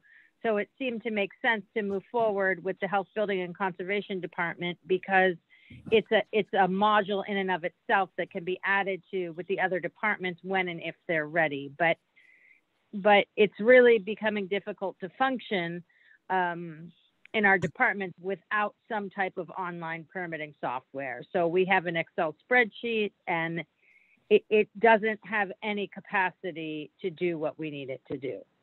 yeah, I mean, I would just say if we're looking to add functionality to this at a later date, we're essentially committing to this platform um, to, to service the town's needs. Um, and so I don't know, but um, Mike, Uh, I just, I, I had talked to, I don't know if you caught this before, Hillary, but I had talked to Rebecca roughly last year when we were talking about OpenGov, when Nancy brought it to us. And she had mentioned that she thought that we'd need to have a procurement process to do a townwide. Um, and I don't want to put words in her mouth, but uh, you know, as far as I remember, uh, procurement process to provide townwide software, and that we should be seeking proposals from multiple vendors um, prior to committing to one. Um, and uh, so I think we need to get that process started, and I, I have no problem uh, getting that going uh, right now. I just don't know if we can just choose OpenGov. I mean, I guess we could, but I, I, I don't know. I- think Charlie has to talk to Rebecca about that and and see if we can do that. Um, because I, from what I remember, the costs are uh, involved require some procurement process, which would involve separate vendors. So if we just went with, you know, one section of OpenGov and then wound up choosing another vendor uh, for the rest of town, or even including that town and switching software again, it, it would be a problem. So um, I don't know where to go from here, except that we should really get started on this. Um, yeah. okay, uh, John, Does this tie in with um, what we were talking about earlier, uh, the internet service at the marina and so forth? no, No. um, Yeah. Helen, Yeah, why don't we encumber the money? Clearly, to my mind, you would have to do a procurement process. I was listening very carefully when Nancy talked about it. And encumber the money so we don't have to wait a whole other year to ATM annual town meeting, um, you know, the, a- over a year from now, a year and a half from now. so the, So why don't Just encumber the money. We don't have to spend it this year, but at least it would be, you know, there if we could move ahead after a procurement process. The, the town needs to get out of a practice of approving monies for projects before the project's been you know appro- approved or or or otherwise. You're just increasing the cost to the taxpayer and the ultimate cost is probably going to be higher um, than what this capital improvement request is if we're doing it across the town I take your point, but I think that there's a certain amount of urgency here. We've now heard from not just Hillary, but we heard from Nancy and, you know, she had gathered input from other departments. And this is not, do we maybe need it? It's we need it and we need it um, to happen well. So there's, it's not a question of whether we need it or not. Thank you. Okay, so I move to table um, the request to purchase a license for OpenGov.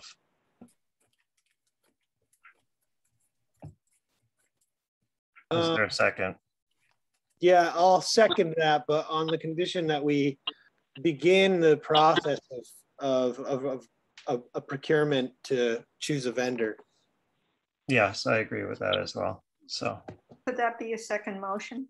No, we'll do it all as one motion there. So the motion's amended. Um, so can I have a roll call vote? John, under those circumstances, yeah, John, I. Okay. Mike, Michael, aye. Brian, I. Hmm. I don't want to table it, so I'm going to vote no. Okay, motion carries three one. So. We are on to. Uh, the police department, so the chief is on vacation, um, this week.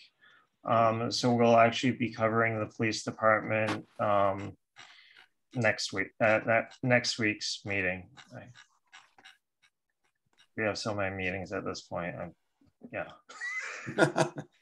Uh, please, please. Um, so I believe fire is next. Um, yep, fire and rescue. Um, so Chief Pauley, um, and um, yeah. Um, good evening, Chief. How are you? Uh, I can't hear you. You're, you're unmuted, but we're not getting any sound.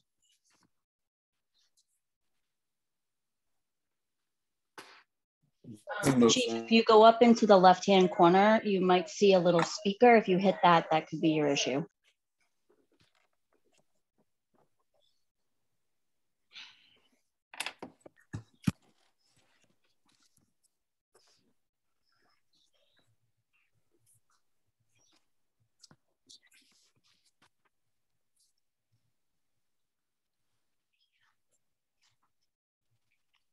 Um, maybe you- you should, can you call in, Chief? Hold on, I just unmuted him again. Try it again, Chief.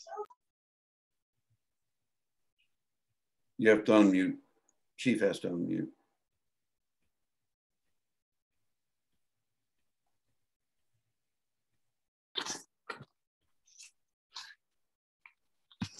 Life in the day of Zoom.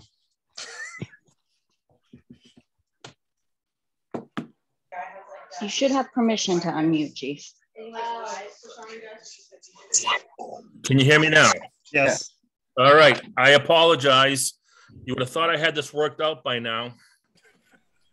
Um, I, and not, and not to, I was just going to offer that uh, Lieutenant LaRocco's on. I don't know if he's prepared to talk about the police department requests, if that would be helpful to the board or to the police department. I, I just noted that. Yeah, uh, Chief Hurley actually requested that um, it be done on the 13th. So, That, that's fine. I apologize. oh, no worries. It's always good to double check. So, um, so the ambulance replacement. So, so this ambulance, Mr. Chair and members of the board, um, was supposed to be replaced last year. Uh, that didn't happen because of the depletion of the ambulance receipts fund. We all think, know that story. Uh, I was hoping to put it on a special town meeting, uh, in the fall and we couldn't have that. Uh, the ambulance now, um, is basically gonna be two years out of our replacement schedule. Uh, high mileage, we're already starting to see electrical issues with it and, and, um, air conditioning and heating issues with it. We will have enough money in the ambulance replacement fund, um, by the April town meeting. Uh, realizing that once the ambulance is even ordered, it's probably a year out, which is the longest I've ever seen in my career of, of, of building the ambulance. Usually it's six to seven months. So that, that's the story on the ambulance. Okay. Um, how much is in the ambulance fund? I, last last time I checked, uh, we were just about uh, three hundred and uh, just just around three hundred thousand. And by uh, April town meeting, we should be right up around uh, three eighty to maybe even four hundred thousand. Uh, you know, just in projection of uh, past history. Okay. Um, so I move to approve the capital improvement request to replace ambulance ninety-seven. All in second. Okay, roll call vote. John, I. Michael, I. Ryan, I. Helen, I. All right. Which one's next? Sorry, I'm scrolling. Uh, amp or engine 95. Yep, and and then this is this is this is the tougher one of the two, only and, and really because of the price tag more than anything else. Uh, engine 95 is a 1998 uh, HME General. Um, it, it, it's a hybrid of two manufacturers, uh, one of which the manufacturer is, is no longer uh, building vehicles. It's out of uh, it's gone out of business. Uh, the, the history behind this truck was that at the time meeting appropriated some amount of money to replace this truck in 1997. And it was determined at the next town meeting there wasn't not, enough money. There wasn't enough money to build the truck. They had to come back with uh, additional appropriation and also cut back on basically the quality of the spec. Uh, so now um, it, it's it's been a, a, a, little problematic from day one, but we've been able to work through it. It's the second due engine out uh, to fire calls, and it's the primary engine from all motor vehicle crashes because it handles all of our rescue equipment, uh, the jaws of life, uh, cribbing, um, uh, struts, and, and major rescue equipment. So the truck is um, going to be over 26 years old. National Fire Protection Association um, recommendations are that trucks of, of this caliber should not go more than 20 years old. Uh, again, even if we're fortunate enough to get approval added at town meeting, we're looking at probably a year and a half before this truck ever sees the streets of Wellfleet, would be my sense. Okay, and then Chief, um, will we be replacing it with new build or um, a used vehicle? This this will be a brand new vehicle. Okay. Um, I think that that's very appropriate for the community. You know, we'll get 20 years out of the new truck, 20, 22 years, I'm sure, with the new technology and, and the new construction methods. You know, as, as you as you may recall, I, I, I recommended that we go with a, a used ladder truck um, a couple years back, and, and that meets our needs, and we saved a significant amount of money, and we're about ready to finish that process up in terms of refurbing it. So that made a lot of sense to save the town three quarters of a million dollars. Uh, in this case, I can't make that recommendation to a used engine. Uh, it's just it's it's just that much more critical and used on a more regular basis. Okay, so it's essentially used every day. Uh, it's, it's used very frequently. Yes, it, it, it's certainly uh, it, it's driven every day. Um, it's used uh, several times a week on motor vehicle crashes, or again when the primary engine is out for maintenance or out of service. Um, it's the second due truck in the fleet, so it has it has a high use um, okay. schedule. Um, are there any questions from the board? Okay, so I move to approve the replacement of engine 95. Helen second. Okay, roll call vote. John, I. Michael, I. Ryan, I. Helen, I. Okay, motion carries 4-0. Uh, radio replacement. Um, so before so this is so this should be the last year of this, right? That is correct. We we have um, over basically over a, a, a, four to five year plan have allocated so much money uh, and kept it in the kitty, if you will, in the capital fund uh, for radio replacements. Um, so this is uh, should be the very last year. This is year five of the five year project. Uh, in addition, we were fortunate enough, we got notified uh, a couple weeks ago that we received about $74,000 in grants for radios.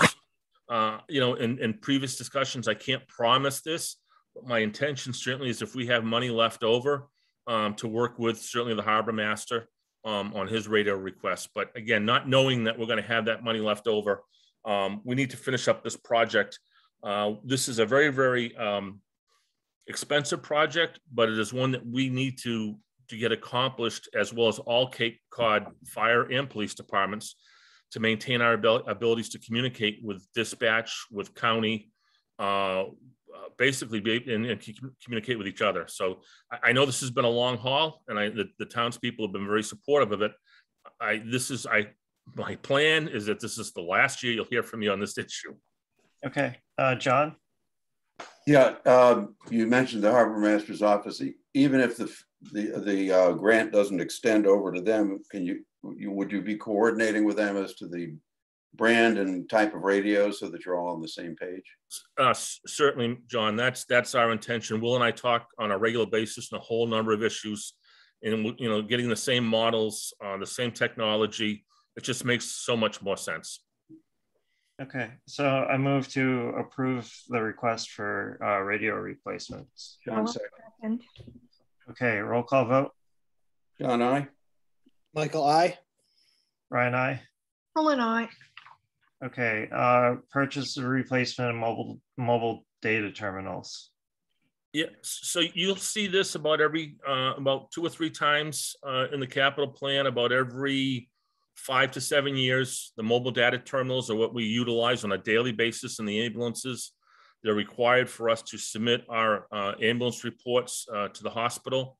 It's required by the state. They won't accept them any other way because th- that information has to be transferred up to the state for quality control and, uh, and review.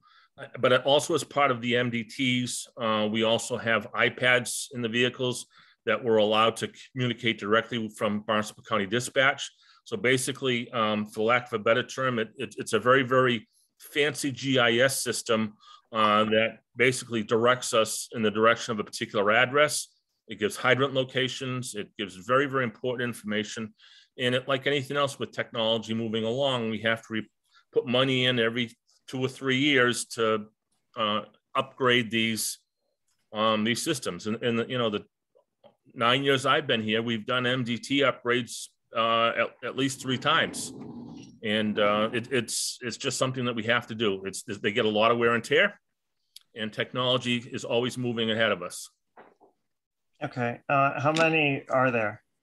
Uh, let me see. We have um, approximately uh, eight MDTs uh, that are in the field, and then we have uh, eight to ten iPads that are also in the major apparatus and in the uh, response vehicles. They do two separate things. The MDTs are required uh, for ambulance reports, um, and that um, EMS um, software reporting. So we have to have a number of those that are available. And then the iPads are the separate piece of technology on the vehicles that connect directly with Barnstable County Sheriff's Office and provide our GS, GIS mapping systems um, and uh, pre-plans and things of that nature. Okay.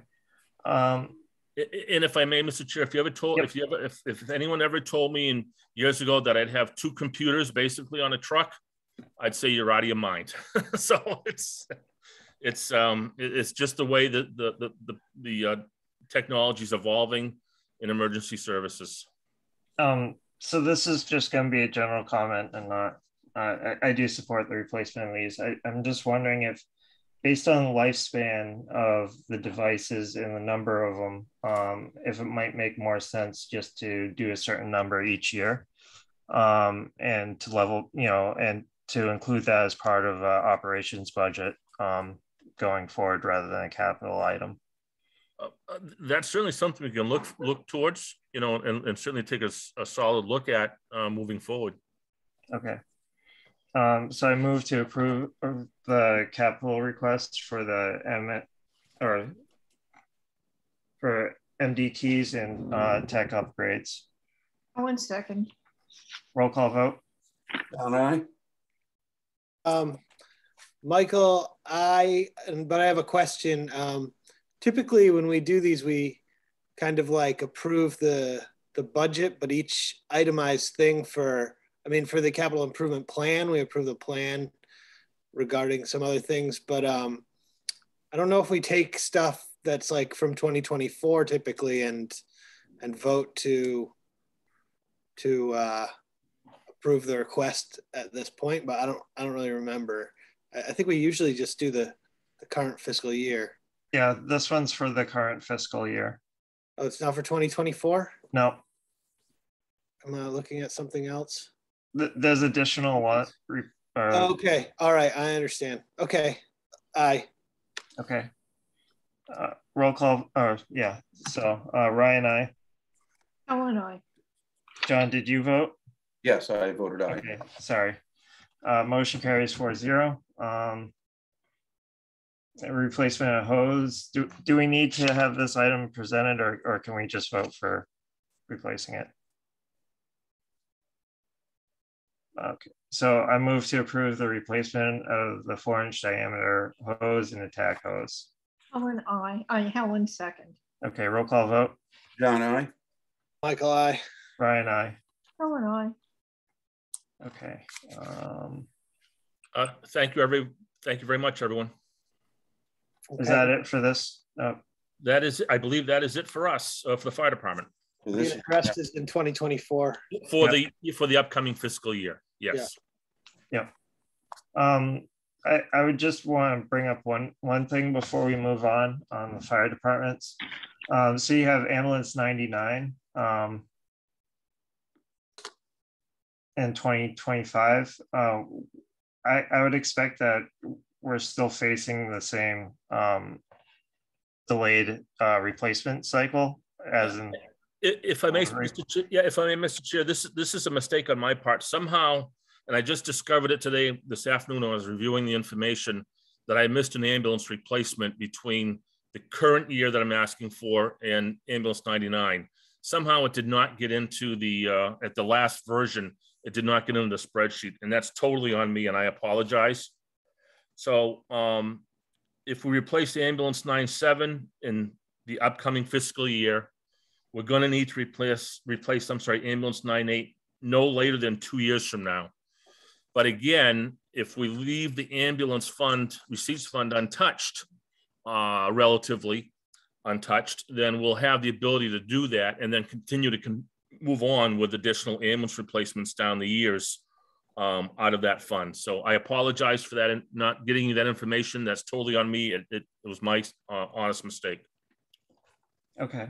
Yeah, I'm just wondering with the delivery cycle, you know, you know, I, I- if I, if I can, I don't want to belay, belay this. I know the board's got a big, big agenda. You know, I, I'm, I'm truly hoping that we're, this is just an anomaly and hope, and I'm hoping, but this is something that we're on top of on a regular basis as we're talking with our vendors and our manu, and manufacturers reps that, um, we'll be working through this, I say, as a country in terms of supply, you know, in the next 18 months to two years and, and be back on a more normal schedule, if you will. But I can assure you that, you know, all your public safety and your public works people, um, chiefs are, are looking at all of this stuff because it's something that I know I never again would have expected to experience in my career as a fire chief. Okay. Well, I guess don't go anywhere yet too. Um, but I, I assume that we're done with the fire department for tonight. Is that every- all right? Um, so Public Works, um, HVAC system upgrade at the fire department. So Jay, Sure. Thanks, Mr. Chair. Um, so the, the fire department, that eighty thousand dollars was actually appropriated back in two thousand nineteen. However, there was no source for the funding identified. So the money was never available to us. So this is just an, uh, a request to get it back on the capital plan with a funding source identified this time and uh, for some much needed upgrades at the fire department. And I'm sure the chief could attest to that. okay. Um, is it gonna make the, the current system, um, operate at a lower cost? I guess. It's gonna help the uh, system operate to begin with. If, yeah, if, i- i- if I may, um, the, this, this system has been problematic since day one. I don't want to go into the details, but has never worked efficiently since the day the town took the building. And then there were two uh, vendors or manufacturers that were part of the HVAC system, to my understanding. Both went bankrupt. Um, and what happens is when you get, particularly the change of the seasons, when you go from uh, winter to spring and from fall to winter, the system gets all out of whack. And we've actually had to buy four or five hundred dollars in little fans uh, to keep the place under basically 80 degrees in the summertime and open up windows. The, the system has just been fraught with issues. This has been an issue that Jay and I talked about. Uh, Mark Vincent and I worked on. Um, I think the system is quite frankly, in my um, opinion, I think it's over-engineered. Um, and with the over-engineering comes lots of uh, things that can go wrong. And what has been able to go wrong has gone wrong. And you know, we've been very patient in the last 12 years now since we occupied the building in 2008.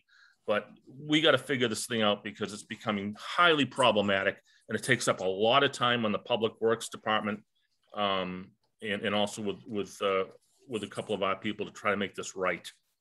Um, Okay. Uh, John?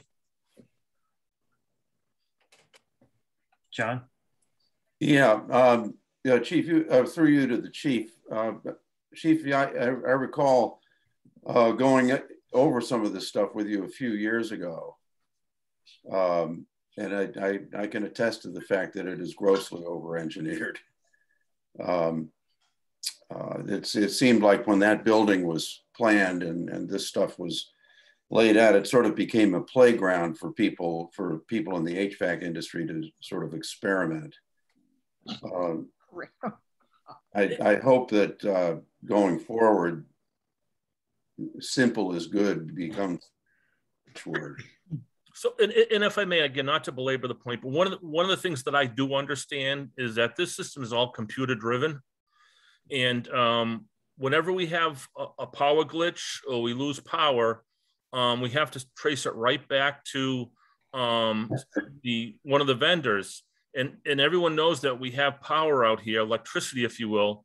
That is what we call gray electricity, or it, it, it has, you know, out this end of the Cape, it, it's not it's not efficient. And whenever you have a power glitch or a power outage, it throws the computers haywire.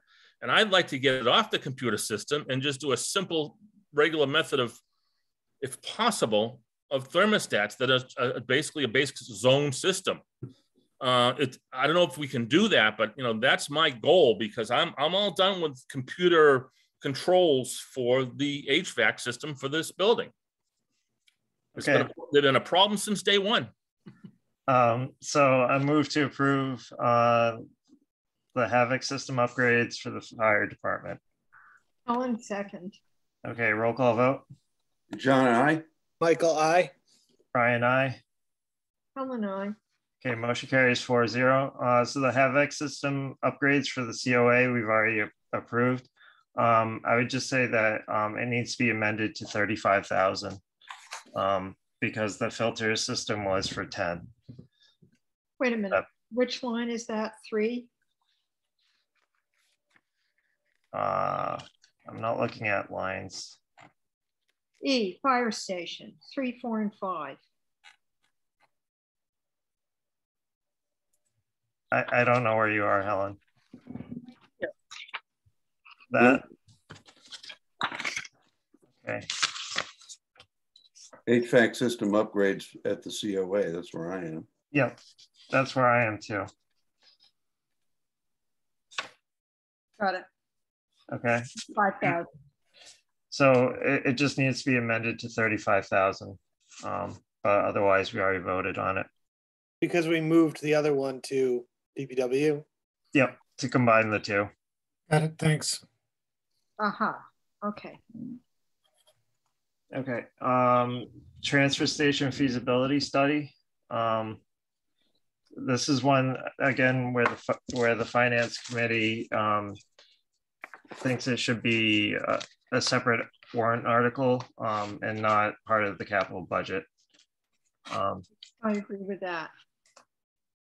okay, Yep, Um, that's fine.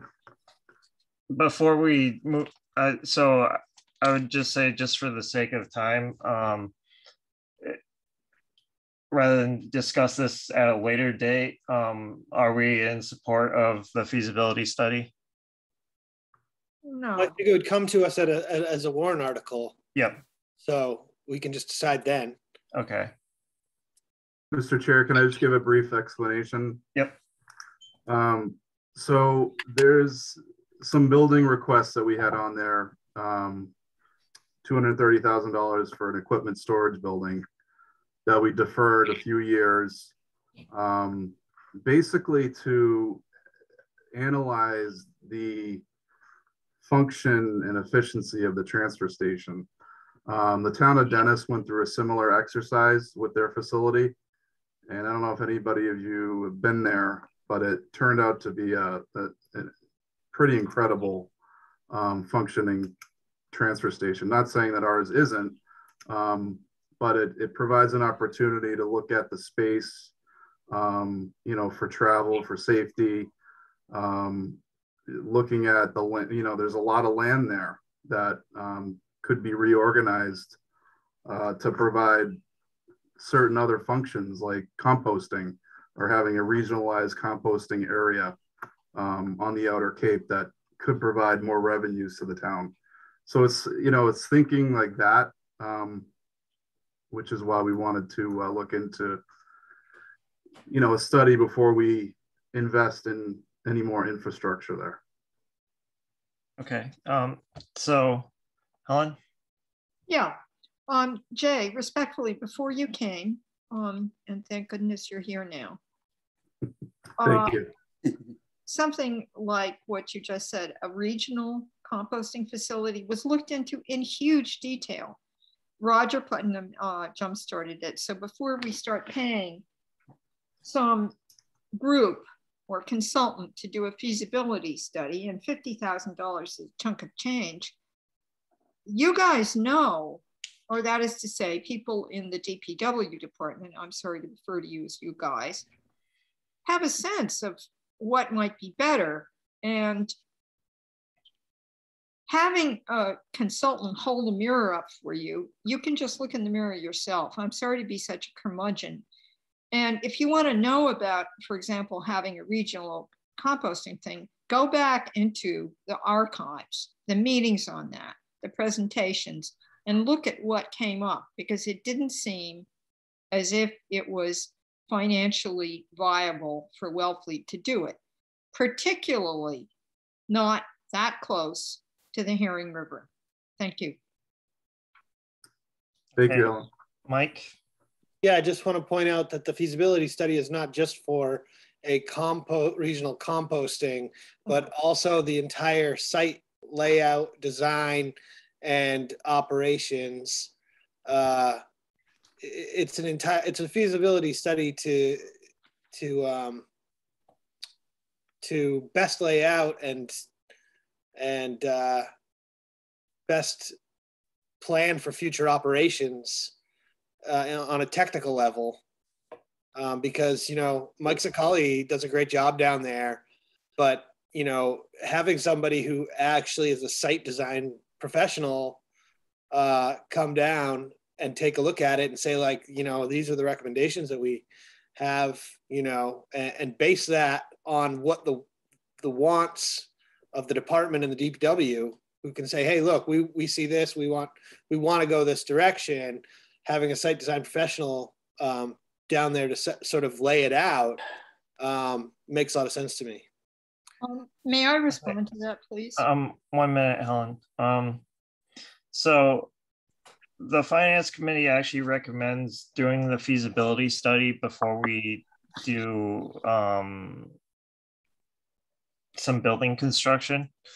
Um, that is that is included in the capital improvement plan as well. It's it's in their their report. Um, so um, I, I I think I, I would actually like to move to insert and recommend an article into the warrant now. Um, but Helen? Yeah, um, I'm for that. Let the people decide. But through you to Jay, Jay, what I said before, and Mike, I know that it wasn't just for the composting, but that was an example about we already know about this. I think that if people in the DPW go and do site visits to other people's, you know, other DPW, you know, transfer stations, for example, and so forth, that you think are functioning well, your eyes will give you information that you don't have to pay $50,000 for. And I think that there are enough smart people in your department to really do a lot of that yourselves. I would be surprised if there weren't. So, you know, you can consult with people in other departments and so forth. I'm not big on always handing things to consultants who come in and very often aren't aware the depth that you need to be aware of what your needs really are. That takes time, and I think it wastes time and it costs money. Thank you. Okay, Mike, and then I'm gonna make a motion. Okay, quickly, I'll be quick. Um, to that point, I mean, they'd be working directly with the DPW and the transfer station. And also, uh, you know, just hiring a, a civil engineer to do a site design on a small residential property can be somewhere around $10,000. So, I mean, $50,000 is, uh, sounds about right to do a study and then uh, a site design. Um, and I think that, uh, you know, we don't actually know if it's feasible to do uh, a, a, regional composting at the transfer station. And I've seen uh, a large scale composting um, situation uh, when I lived up in Vermont. And um, it was pretty profitable and it's still operating today. They did move it, but uh, Intervale Compost is, is still operating now uh, profitably. So um, I think it's worth looking into. Okay, so I move to approve and insert an article into the, or I move to approve, insert, and recommend an article into the 2022 annual town meeting warrant in the amount of 50,000 um, to hire a site design professional um, and experience in transfer station operations and development um, to conduct a um, feasibility study on the focus on, on the functionality, safety, and efficiency um, of the present day operations and for future opportunities for to improve um, and enhance services. Second. Okay, roll call vote. Uh, uh, John, aye. Mike. Michael, aye. Ryan, aye. Helen. Helen, aye. And uh, what Mike just suggested, it's not feasible. We determined that years ago. It was done properly. Okay, motion carries four zero. Well, we're not discussing composting right now, so. Mr. Chair, can I just mention one Yep. thing? I'm actually trying to get my hands on the study that Dennis did. Um, so when I do receive those documents, I can forward along to the board just for their uh, information. Okay. Um, so uh, the bandstand awning replacement. Um, so I believe the finance committee did not recommend to move forward with that. Is that correct? That's correct. Um, this was a request from the rec department. Um, we put it under our capital because it was building related. Um, the basis behind it was that the structure for the awning is all rusted. Um, we visited the site with the with Victor, uh, the building commissioner, the interim building commissioner, and he he deemed it that you know it needed to be replaced. Um, the actual deck and um, platform area is in great shape. It's basically just the structure, uh, the overhead structure. Um, so it was decided to originally to replace it with uh, you know a canvas type um, awning again, um, but to be more permanent and less maintenance, um, it was a collaborative decision to move forward with a wooden framed structure similar to what the uh, new pavilion at Baker's Field looks like. Um,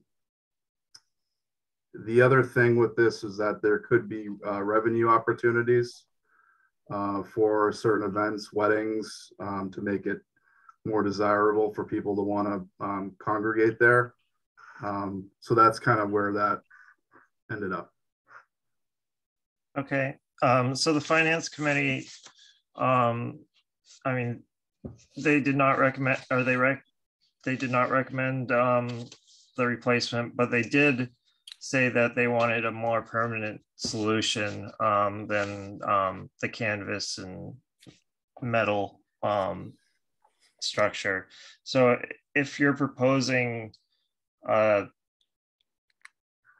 a more permanent solution, I think that's more applicable. Um, I'm just, I'm not sure on the cost. Um, is fifty thousand for for that small of an area reasonable? Yeah, I mean, it's, uh, it, has to be pretty substantial, one, you know, uh, construction to withstand, you know, hundred and forty mile per hour, per hour, uh, wind loads in that vicinity, so. Uh, we did receive quotes, um, and it was within that ballpark.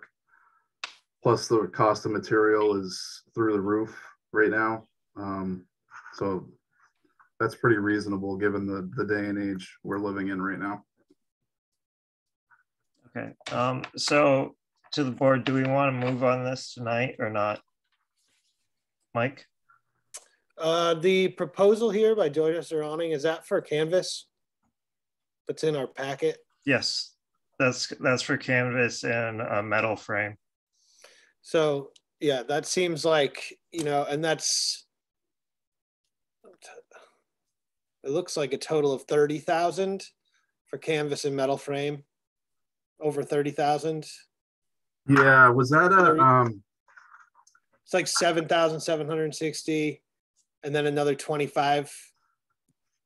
yeah, that's the canvas. Yeah. Do you So- guys have the wood framed estimate? Did No, we don't, Becky we don't send that have guys? that one. No, okay. But um, uh, you know, I, I think another twenty thousand dollars to have something that's nicer and is actually more permanent probably makes sense. But um, yeah, I, I don't have a problem um, approving this.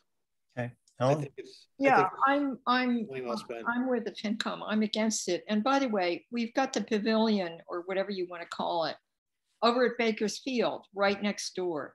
Why do we need another thing like this that isn't even as solid?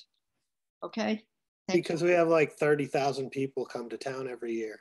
And they get to be on the beaches, they get to be all over. I just think yet another structure that we, you know, don't need and that isn't as solid as that pavilion, which could use more use. It could have more use.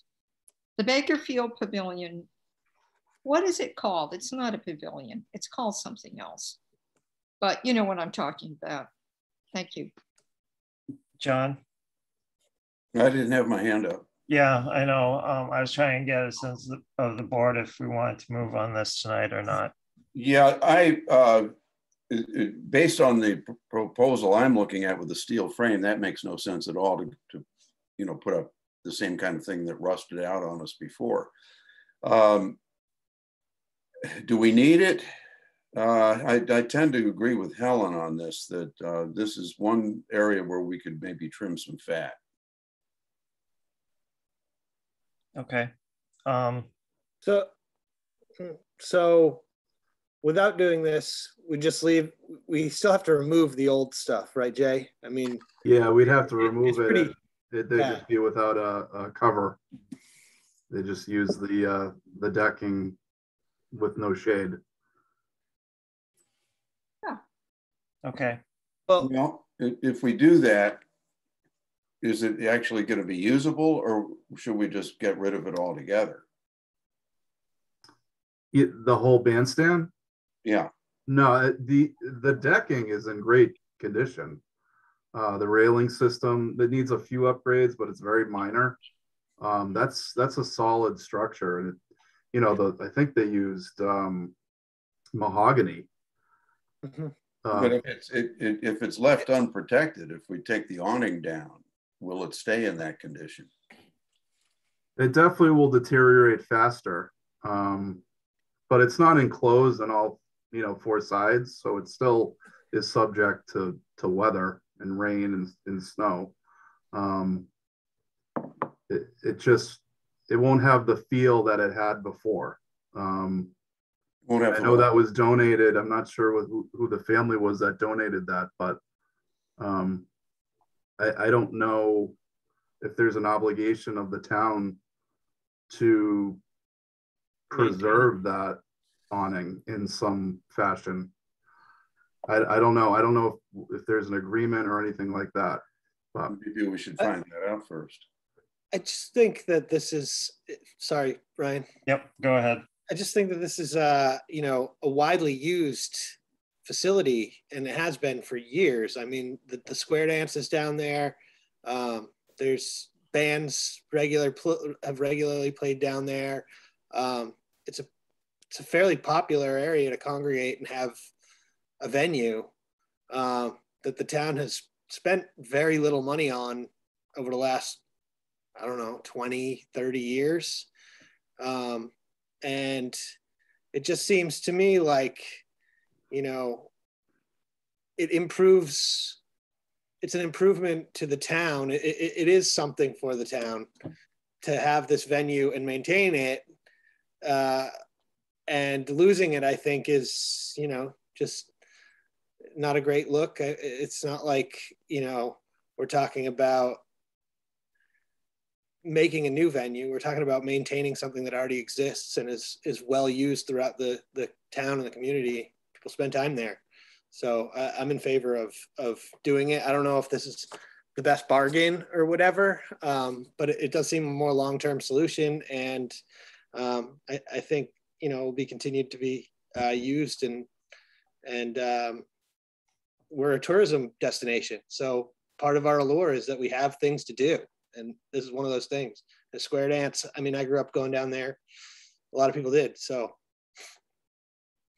okay. is there um is there a way I could share my screen? I actually have a picture. I don't know uh that I was Yep, you're good. Go ahead. Okay.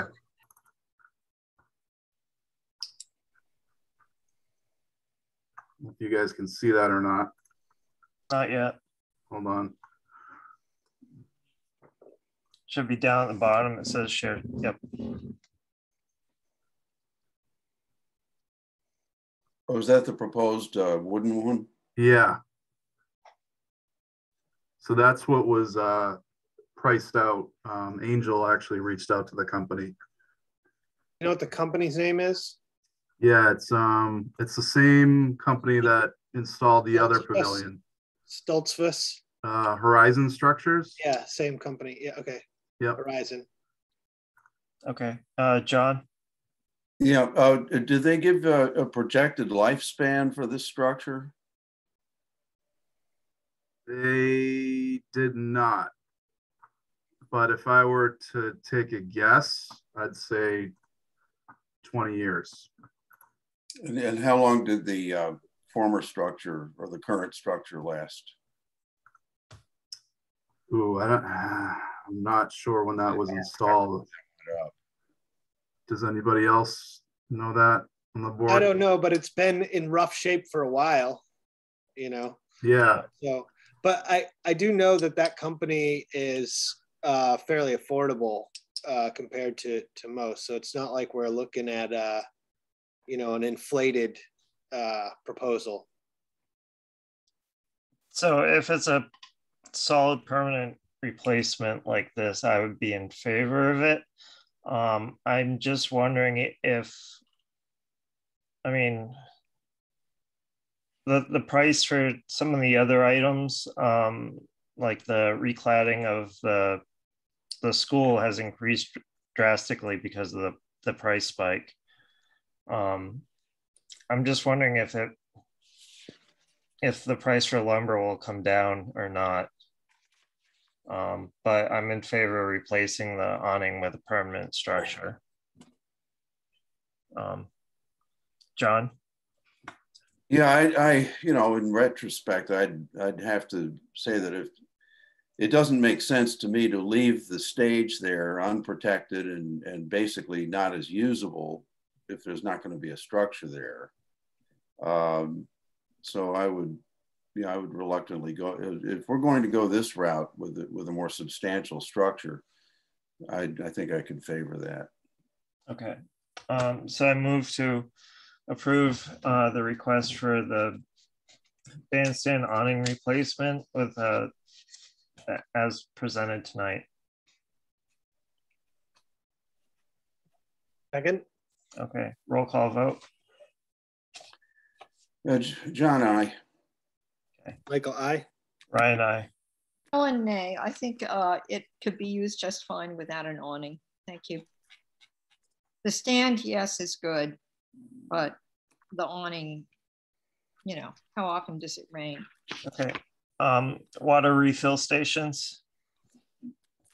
Yeah, so that was, um, the recycling committee reached out to me, uh, to look into a proposal to install some water refill stations around town, and I thought it was a good idea, especially in light of the recent water bottle ban. Um, we're proposing it at four locations, uh, library, town hall, uh, by the basketball courts on Kendrick Ave and at the marina. Um, so it just gives people an opportunity to fill, fill up their water bottles and, um, and it's strongly recommended by the recycling committee. Um, will these work in the event of a power outage? No. No. Okay, so I, if they're outdoors, I, I would like them to actually function in the event of, of, of power loss. I mean, I would say that, you know, everybody here probably has recently gone through a extended period of time where we were without power and people are trying to figure out where to get water. Um, so I, I would want to see some um, resiliency built into them to, to service that emergency need. Um, Helen? Yeah, um, we have one very good, very usable place at the fire department. They have a generator. Nobody needs to, you know, it's just one thing to drain and pay attention to in below freezing weather. And frankly, I think that that one central location is enough for this small town. I went and filled up some containers for people, um, including myself, and, you know, to flush toilets. And um, I think that the one at the fire station is enough. Everybody knows about it. And some of these might be used um, not very much at all. I mean, it's spread all over town, and the recycling committee is right that we need one place to be able to get the water, and that's at the fire station. It's public water, so it's, you know, doesn't need to be piped from somewhere else. And what's wrong with that? Um, so that's not what the recycling committee was requesting. So What were they requesting? What did I get wrong? All of it. Well, wait a minute. What, where did, is that, is that in the uh, big? It's for drinking water. That it, that's what I got at the, um, that's at the, at the fire station. There are. Oh, this is pla- water re- refill stations. So I was saying it would be helpful if they worked in the event of a power outage. or- Yes, I agree with that. But at the fire station, there's one for flushing Ugh. and then there's one for drinking. So Helen, in in the town hall, when you go in, there are water refill stations where you can bring a refillable bottle and know. fill fill, The you, fill your COA, water. the COA has one. Yep. This and is what so The fire department. Hey, well, okay, John. Chair? Yep. Oh, go ahead, John. Uh, I'm, I'm just not sure why we, we need this. I mean, we all have running water in our homes. Can't we refill water bottles before we head out? Um, Uh, uh, This is more for the general public. yeah, Um, it's, you know, for people that are, you know, walking along Kendrick Ave or they're at the basketball courts and they want to refill their water or they're uh, congregating at town hall and walking through the center, you know, the central district. Um, it- and it's an effort, I think, it- it's called Refill Cape Cod. Um, other communities are doing it and they put GPS location of where these water refill stations are. And it's all, on- it's populated on the map. Um, so Orleans is doing it, Provincetown, um, Eastham, all those communities. So I think, uh, the recycling committee wanted to get up to speed with those communities. Okay, well, the, in that case, uh, do they have to be electrically operated units with digital readouts are going to be a simple tap? Why Simple do- tap. You know, sim- a simple tap that requires no electricity hmm and that's twenty thousand dollars. Yes. Okay, Mike, So these would not be the same sort of water filling stations like uh, at the COA um, or the town hall. They would be similar to those, yeah. Those are electrically operated. These, hold on. Let's see. Uh, let's see. Well, while, while we're waiting for Jay, I'll just say my piece. Uh, I just think this is an incredibly important thing to do when you ban plastic water bottles. Um, people are used to being able to go and buy a bottle of water uh, anywhere around town. That that's over. We don't allow that anymore. Um, with that comes the need for again, we are not a small town for all of the year. We are highly densely populated for a lot of the year and it's hot out and people need to be able to get small volumes of water and refill their waters if they can't go buy a water bottle. I don't think we want to and expect all our tourists and visitors to be buying Gatorades or soft drinks because they are allowed to do that. Um, we haven't banned plastic. We've only banned plastic water bottles. And the the whole premise behind banning those plastic water bottles was to give people places to fill up water in their refillable bottles. And barring having that, we're basically just asking people to go thirsty or drink soft drinks, um, you know, or go into restaurants and and ask for glasses of water. And I just don't think that's practical or or good public relations really as a town when you say, hey, you can't buy water in this town. And guess what? There's nowhere to fill it up. You know, go find a hose. You know, um, people are driving around. They're not like at their house or whatever. They're doing their thing. So we need places for people to fill up water. Okay. thanks, Mike. And uh, I apologize. These are electric electrically um, connected. It's not it's not pressurized.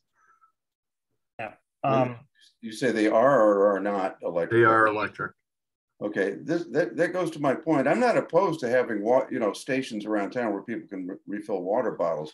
I just don't see why we should spend twenty thousand dollars putting in refrigerated, electrically operated digital readout contraptions. If we're going to do this, let's do it fiscally responsibly.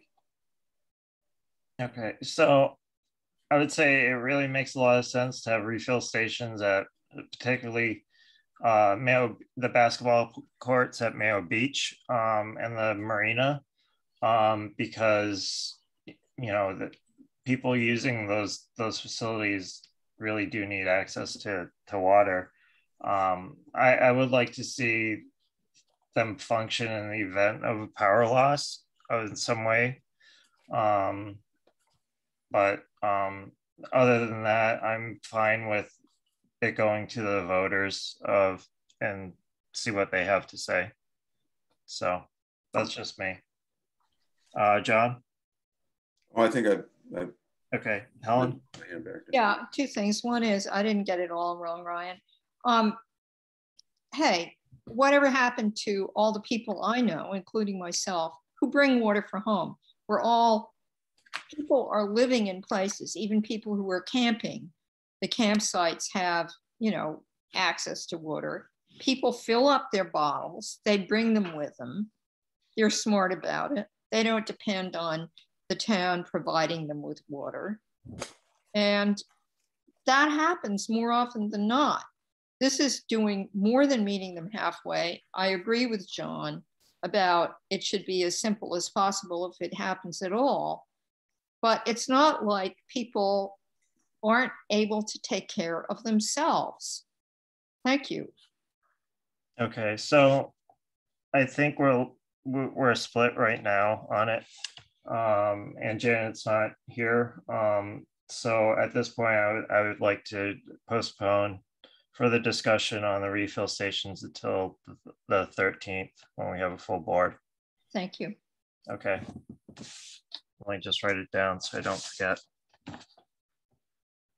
Um, In the meantime, Mr. Chair, I can do a little research, um, you know, to see if there's units that can uh, still be powered maybe by solar or something and Hmm. still be functional um, in the event of a power outage.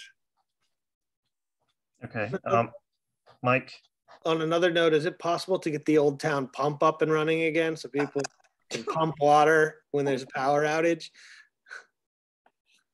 Ugh. I just don't see why we just can't have a simple spigot. so, um, maintenance of the outside. No uh, research needed. So maintenance of the bathrooms at the out, or I would say the pub, I don't know, out, out, yeah. Okay. Having one of those nights. Um, maintenance of the, the bath, the public bathrooms at town hall, I'll just say. Yeah. so. Yes. So, um, I'm, so I, I move, I'm actually gonna make a motion. Um, so I move to approve, uh, the capital request for maintenance, um, improvement of the town hall bath, public bathrooms. Helen, second. Okay, roll call vote. John, aye. Um, can we discuss this really quickly? Yeah, you can, yep. Uh, Jay, I just want to bring this up just generally because I think we're in real need of some actual renovation of the bathrooms in town. Um, and I'm hoping that we can sort of get onto a track where we, you know, renovate one set of bathrooms per year in the town with new fixtures, possibly, you know, paint the walls. I don't know, maybe whatever needs to be done to improve the quality of the experience of using a public restroom in the town of Wellfleet because I've been to a lot of third world countries and a lot of them have better bathrooms in this town, you know? So I, I just think we really need to like actually start taking steps to increase uh, the, the, uh, to, to improve our public restrooms. I mean, I think it's a real problem. Yeah, I, I would support that as well. Um, so, So yes, I will vote for this, but I would like to see a, a, a, a plan to renovate. yeah, I mean, we can actually have that as a motion right after we finish this one. So if that works. Okay, So Second. Ryan, aye, oh, yeah.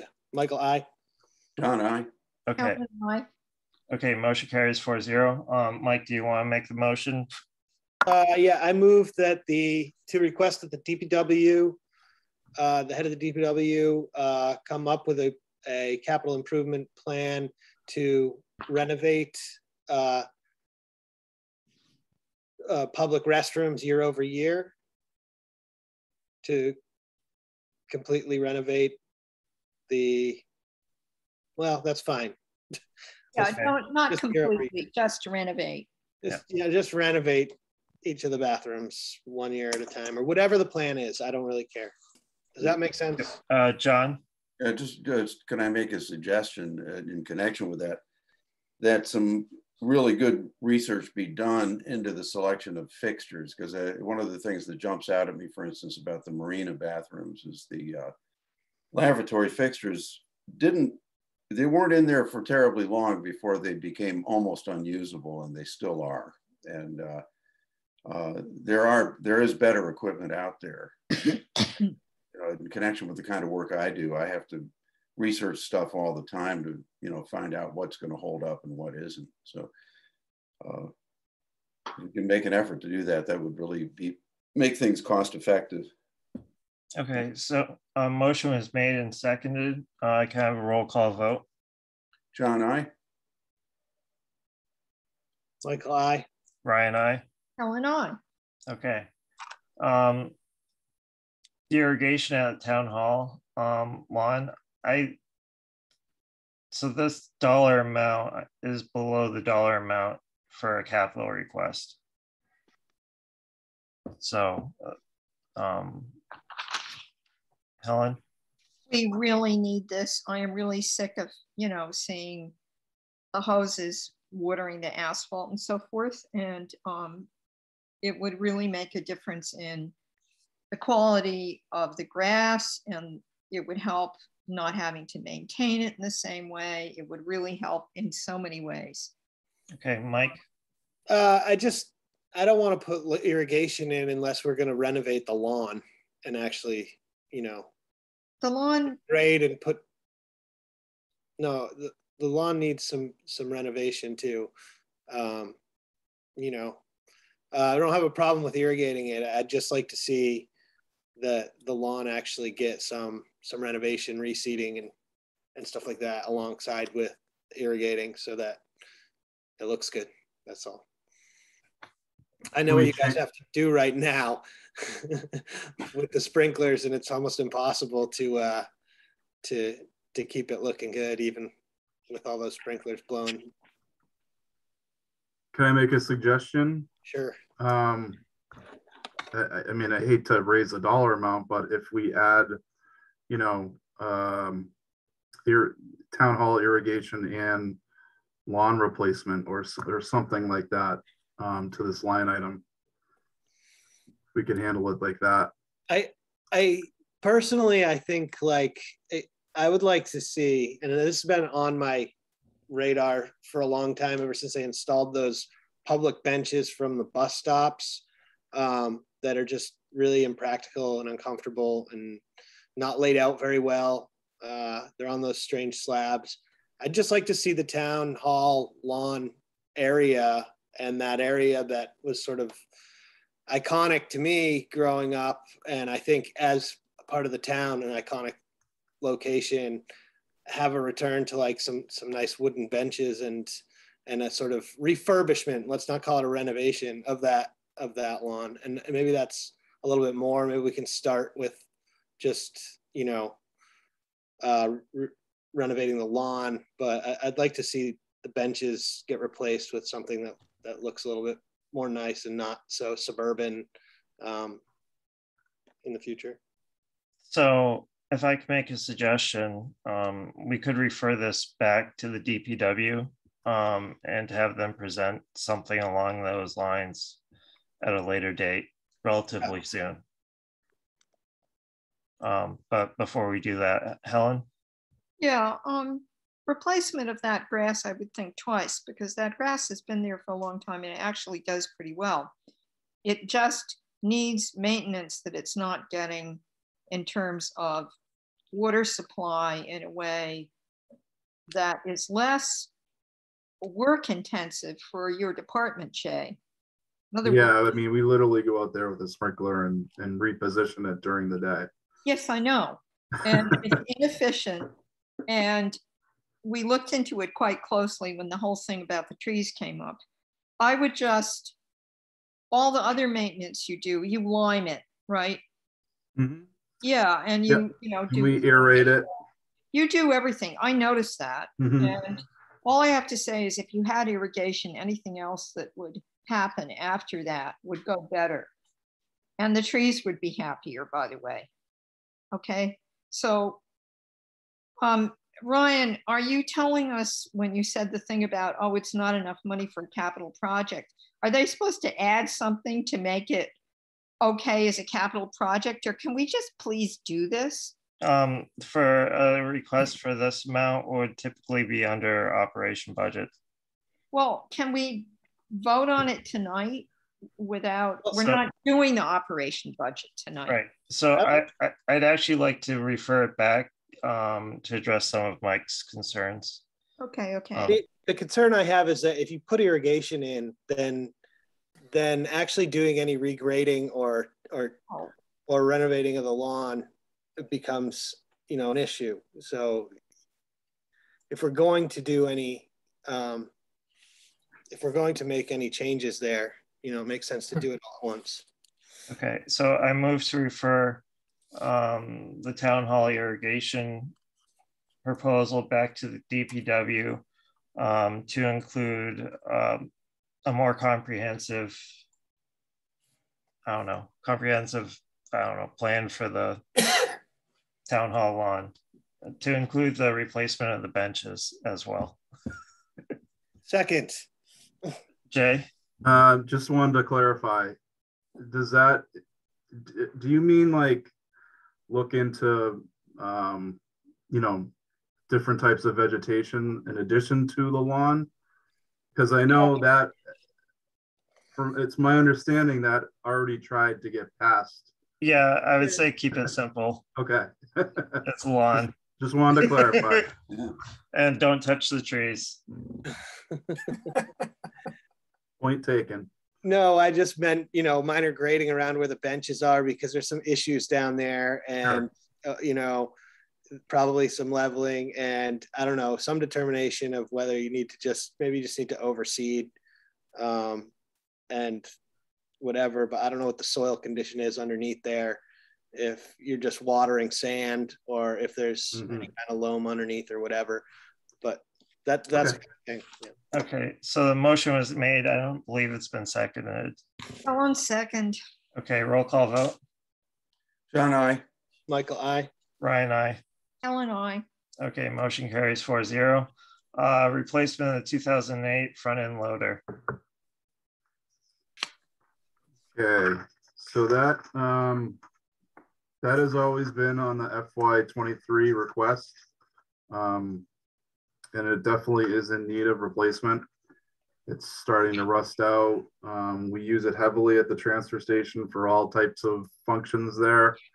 Um, we reviewed other, actually FY twenty-three had a, a lot of rolling stock items that I went through with um, our head mechanic Lloyd Pickard. Um, and we, uh, you know, we decided which ones we could still defer. Um, and this was one that we just couldn't defer anymore, especially given the time frame of getting a new one, which would be probably a year from April. Okay, are there any questions? Okay, uh, so I move to approve, uh, the request for replacement of the two thousand and eight front end loader at the transfer station. Second, John, second. Okay, roll call vote. John, aye. Michael, aye. Ryan, aye. Helen, aye. Um, so the 2012 one-ton dump truck with sander and plow, I assume that you went through the same process that you just described. Same thing. Yep. Okay, um, so are there any questions on the board on this item? Nope.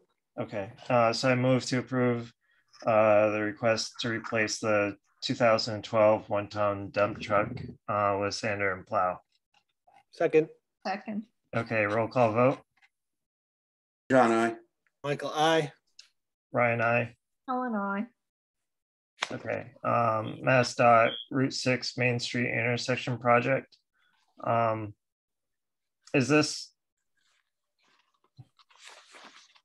Yeah, So this will be for services that, uh, from Stantec.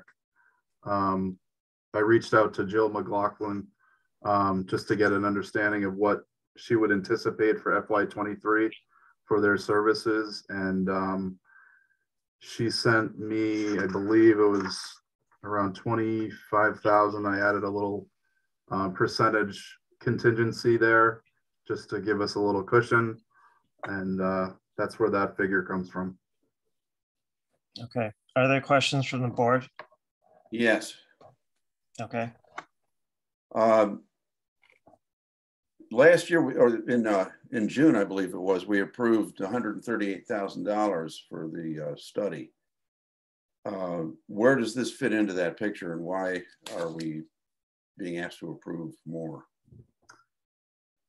The, that, the, the appropriation at town meeting was just for FY twenty-two and their services, um, to get us to, uh, past the seventy-five percent design stage. So FY twenty-three will be nearing the finish line, um, hopefully.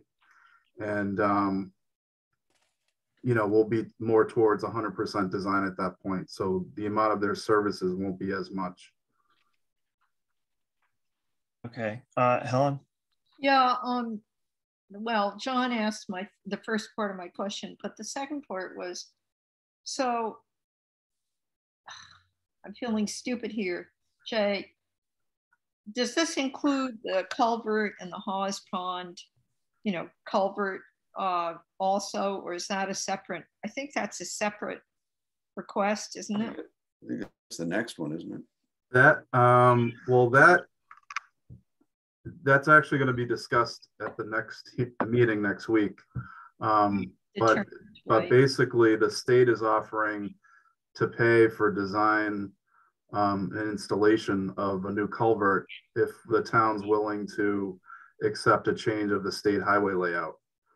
Um, so it would take the state layout outside of that culvert, so future ownership would be on the town, including maintenance Of the culvert. Of the culvert.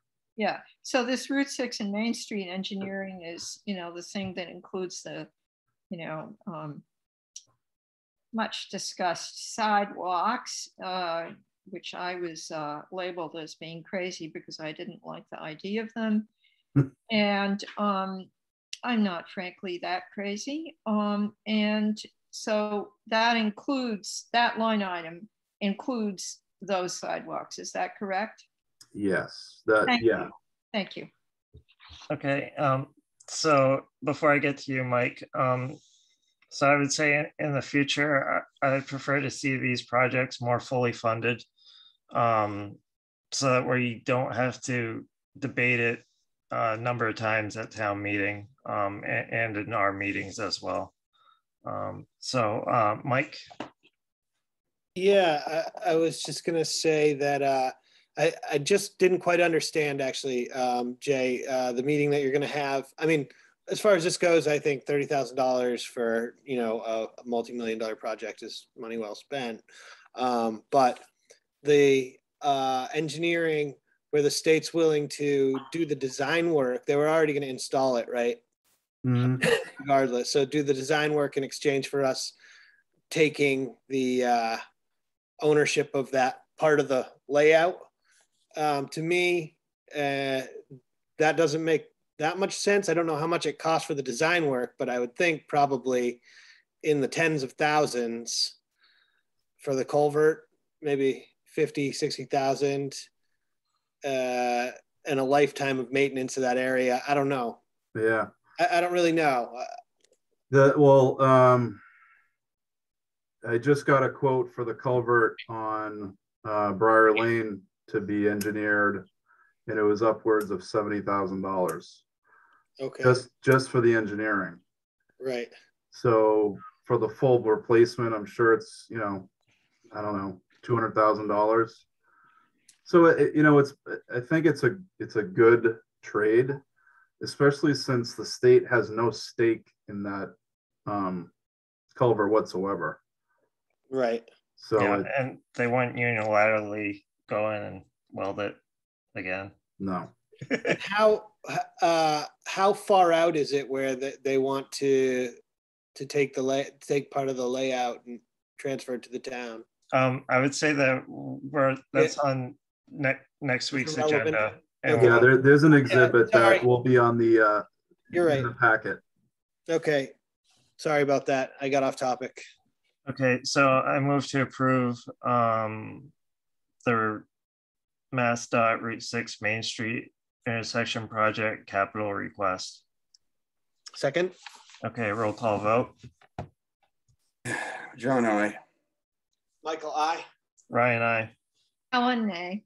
Okay, motion carries three one. Uh, Keller's Corner, um, so, um, again, this, this is a, a study for, and the Finance Committee, again, this is another one that they recommend it being uh, not in the capital budget, but as a separate article. Um, but, um, I guess are there any questions about the project itself at this point? Because a lot of us have already heard about it. so.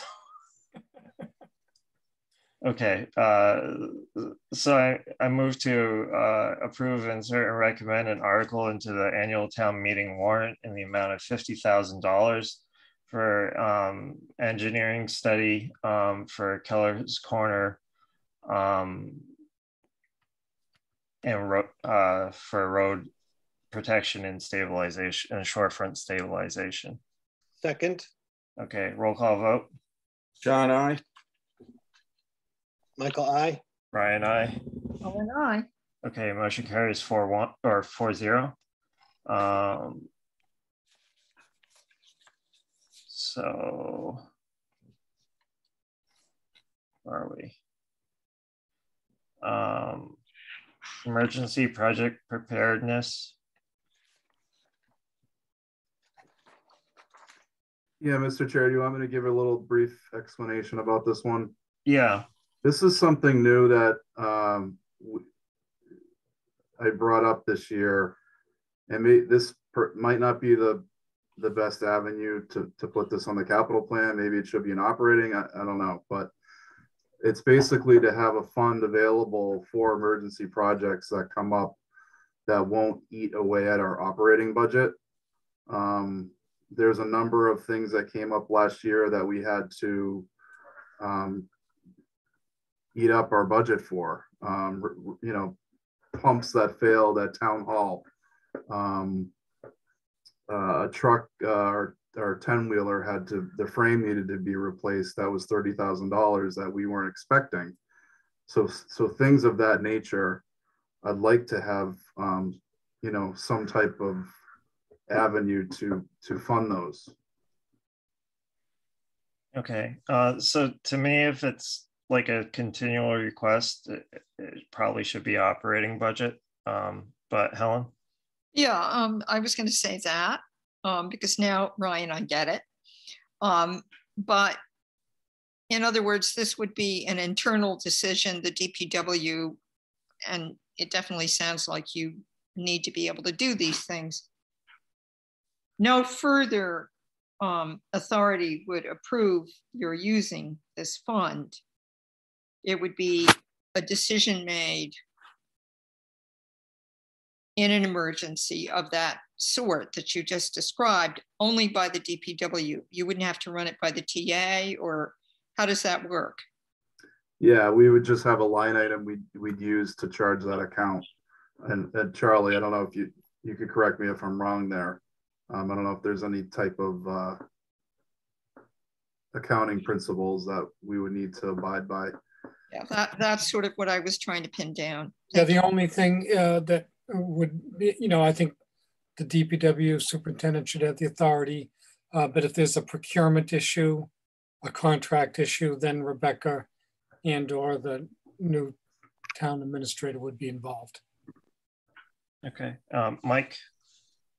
Uh, yeah, I was just going to agree with you. It should be in the uh, operating budget, and then that way, if it doesn't get used, it could, you know, over or whatever. But um, yeah, I think it should be operating. Okay, so I'm I move to remove the emergency project preparedness from the FY 2023 capital improvement uh, plan um, to be um, included in the operating budget. One second. Okay, roll call vote. John, aye. Michael, aye. Ryan, aye. Helen, aye. Okay, motion carries 4 0. Um, I got a question for you, Ryan. Yep, shoot. Uh, what rule on changing one's vote on something that's already been decided? Is that allowed or not? Uh, you can ask for the question be reconsidered, um, and, and then um, it would be voted on by the board to, if we want to reconsider the question or not. So wait till the end of the meeting to do that. Um, I don't want to waste time. Yeah, I, I would. We're getting pretty close to the end of of the capital improvement plan. So let's, yeah. Okay. Um, just remember, remember, remind yourself. Okay. Um, so Charlie, um, I don't see Mary Beth Rodman on, uh, Martha Gordon's on uh, from the school committee. Um, so we have the cladding replacement of the the elementary school. I, I believe Mary Beth Robin did kind of indicate why it was needed. Um, uh, can you unmute uh, Martha Gordon, uh, Rebecca? Hi, Martha. Hi, okay. Thank you. Um, yes, um, we had, uh, Mary Beth actually addressed this a little bit earlier, but I can go on. And I think maybe I should just wait to see if you all have any questions about it. Um, Charlie, is this with the, is this for the updated amount for the cladding? Yeah, the, the 800 is the updated amount, yes. It's eight, 800? Okay, because in our packet, it's 600. Yeah, in the spreadsheet, I, I got the right amount, but I didn't include, um, I didn't include the right backup sheet in the detail. Okay, I, I'll, I'll get everybody that. But it I- is I- eight, 800, yeah. I, I don't need it. Okay, I mean, okay. That's pretty simple. Okay. Um, are there any questions about this? Um, my only question, I guess, is, is with a project this scale, if it's necessary to do it this year with the price of, of cedar shingles and the, the supply problems that we're having, or, you know, I, I- I don't really know, because it- And, and Mike, I'm sorry to interrupt. The, the 800 is in 2024. two, 2024, Yeah. Mm-hmm. It Okay, was uh, supposed to be this year, but because the fire suppression system never made it to the warrant last year, we Mhm. had to push everything back by one year. So in here where it says cedar shingle cladding and trim work, Mhm. FY 2023, is that not right? That's not right. Okay, It should, I think I, in my spreadsheet, I have it in 2024 though, don't I? yes. maybe. I don't think I see the spreadsheet. Yeah, it's a Yeah. beginning. In the very beginning of it. Um, all right, so I guess that would also make it so the you know hopefully the price for shingles comes down in, in the year. Um, I I don't know if we can reasonably hope for that though. I don't know. I it can't get much higher, I don't think, but maybe, who knows? Okay, I like your optimism. I can't even speak anymore. I like your optimism, Well, Mr. Curley. yeah. Um, so on, on that, I guess we'll just take no action on it tonight um, because we don't need to. Um, and it will come up again next year for approval. Yeah.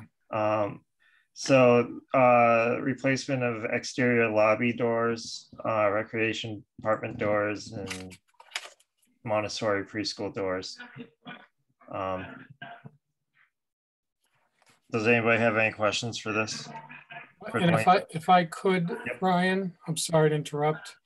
In the, the corrected plan that I didn't include, they've moved the doors, the 800, the 25, and the 10 to 2024. The only thing that'll be on 23 will be the uh, sprinkler system. Okay. All right. So then let's just handle the sprinkler system. Um, and that's now uh, 2.2. I, I believe the school committee is going to change that number to 2,200,000. Okay. Um, you know, I, I would just say that this is an example where somebody tried to cut costs somewhere and we're definitely paying for it now. Um, well in the past. So Maybe before you were born. no, uh, it was I was in I was in uh, school when it was being rebuilt. So um, so I, I moved to approve uh, the fire suppression system um, as presented tonight. Helen second. Okay, roll call vote. John, aye. Michael, aye. Ryan, aye. Helen, aye. Um, and then before we uh, finish with the school, um, in the following fiscal years, they have a ten thousand dollar uh, request for each each subsequent year um, to replace computers and tech. Um, if, if it's like that, I'd almost rather have that be in a operating budget than a capital request at that point. So, um, but that's it on the, the school, I believe. Thank you, Julie noted.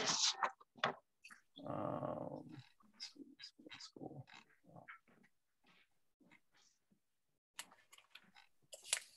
Sorry, I'm just trying to, okay. Um, it's earlier, I don't know, it, it got lost somewhere in here.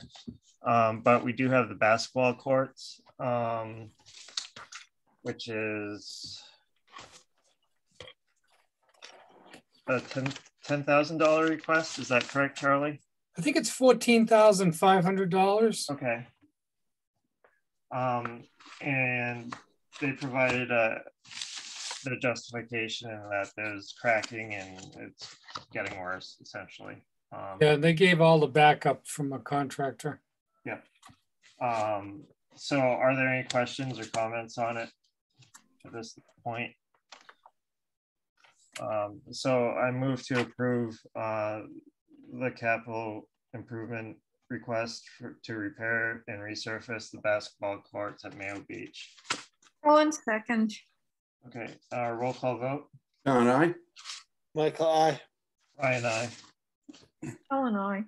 Okay, so um, John, this would be um, when you can.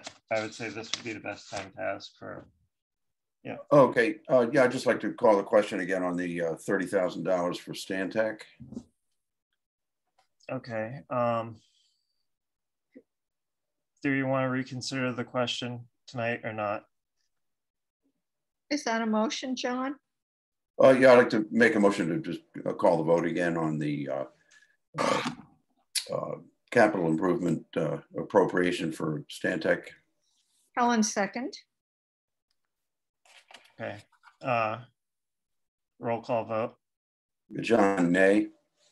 You're No, you're, we're just voting to reconsider.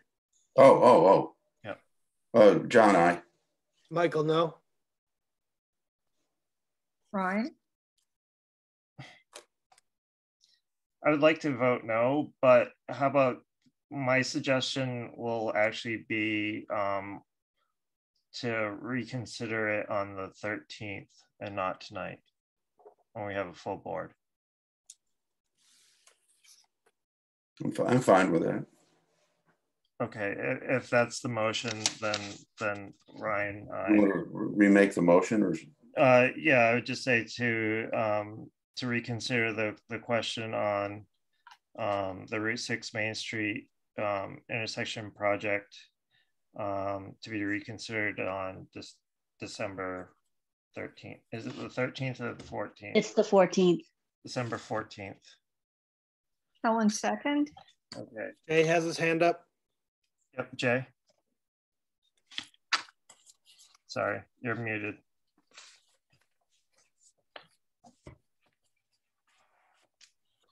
Uh, refill station. Go There we go. All right, thanks, Rebecca. I just wanted to clarify that that funding source is not strictly for Main Street. It is also for Route 6. Yep. I understand.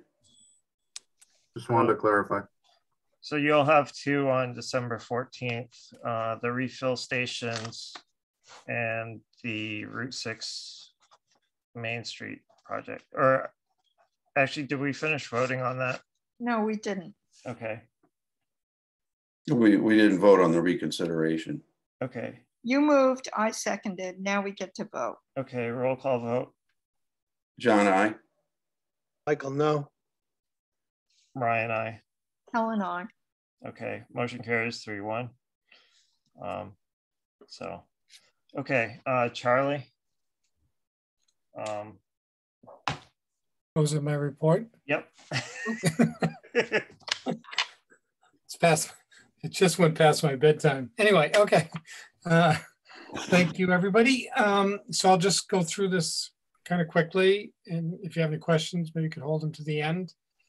Um, I'd mentioned this before, but for the public, um, we are holding a public workshop on the low-lying road project uh, tomorrow, December 8th at 4 PM. And uh, the purpose of that meeting is to get uh, public input to decide which roads will be evaluated for improvements, educate the public about coastal flooding and demonstrate new tools that show risk to our community. Um, so anyway, that's tomorrow. Um, now, Hillary uh, Lemos, our Health Conservation Director, is working with Town Counsel to draft um, to put together some draft legal agreements for citizens who might be interested in installing enhanced IA systems. So we're spending some money working with town counsel on that project. And of course, uh, I'm very happy to tell you that our new building commissioner, Jim Badera, did start work uh, last week on December 1st. And Vic Staley um, will stay on as an alternate for a while uh, to assist and just continuing to catch up on the backlog and provide some support for Jim. Um, the, we executed a contract for a water rate study uh, with Doug Gardner from Pioneer Consultants. And I have frankly worked with Doug in the past and he does good work. I've used him for many years in Brewster, so that's good. Um, we did execute the um, contract for the town administrative search process and Rick White has already done preliminary interviews with department heads and some citizens in the community. He's going to be writing up a report and uh, next um, he's going to be uh, interviewing and talking to members, the, all the members of the select, the select board. And that'll lead towards um, ultimately a, a, community profile that we'll use for recruitment pur purposes. Um, Rebecca Roughley issued a notice to proceed uh, for the um, Coles Neck water main replacement project. And I think there's a kickoff meeting next week um, that she'll, she's organizing. So that uh, we'll, we'll start to see some activity on that important project.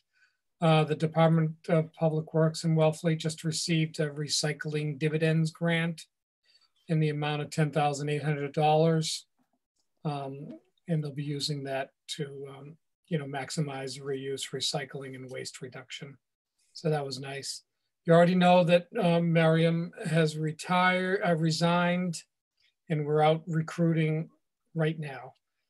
Um, the um, Judy Sprague, who I've talked about before, who's helping us out um, uh, in an interim basis as well. Judy and I have already been doing departmental budget reviews last week and this week and next week.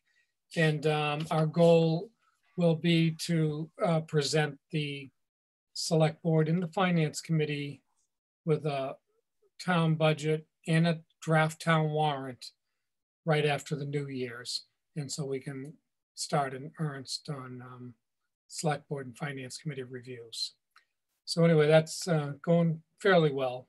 Um, we're kind of squeezing it in amongst a lot of other projects, but we've really, by the way, had a lot of cooperation by the department heads who have really been working so closely with us. We're very grateful. Um, the town audit was scheduled for December 13th, and we've pushed that off to the middle of January because, um, you know, Mary and Lisa have had to um, reallocate, you know, what their activities to more day-to-day -day functions. Um, we did have a telephone conference call with the uh, auditors and agreed that pushing it off till the middle of January was just a necessity. And I have submitted, uh, the finance committee is going to be meeting next week on the 15th. And I have submitted two more reserve fund transfers uh, to pay for costs relative to the shortfall that we have for property and liability insurance and um, the TA search consulting process. And then uh, just a couple of things that came up today uh, that I think are, are kind of nice. Um, Ameresco is the firm that we're working with to install the solar at the um, landfill site in Wellfleet. And we did successfully pass um, what is called the witness test with Eversource. It occur actually occurred last week. And that's an important test and it'll, um, it, it'll lead um, next to this permission to operate uh, permit. And so they think that the system might be turned on relatively soon, certainly by um, the new year. So that's nice. And then um, the board last week had asked me to reach out to Ann Sterling, the, I believe, president of the Fields Point Property Association. I have done that. I spoke to her today. I just wanted to let her know that, you know, we are, you know, interested and want to work with them And uh, so I just touched bases and introduced myself. And my goal will be to um, wait till Nancy gets back and Nancy Savetta, and then I'll, um, Ann and Nancy and I will get together. We'll get some advice from counsel. Uh, but anyway, I wanted to let you know that I've touched bases with her. So I think uh, that's all I have. Okay. Are there any questions for Charlie? We all tired? okay, uh, topics for future agendas. Um, John, you said that you had one. Yes, uh, I would like to, uh, in lieu of what I've been hearing about uh, Cape Cod mosquito control having difficulties uh, getting uh, permission from the seashore to uh, larvicide operations in the Herring River Basin. I would like to bring Gabrielle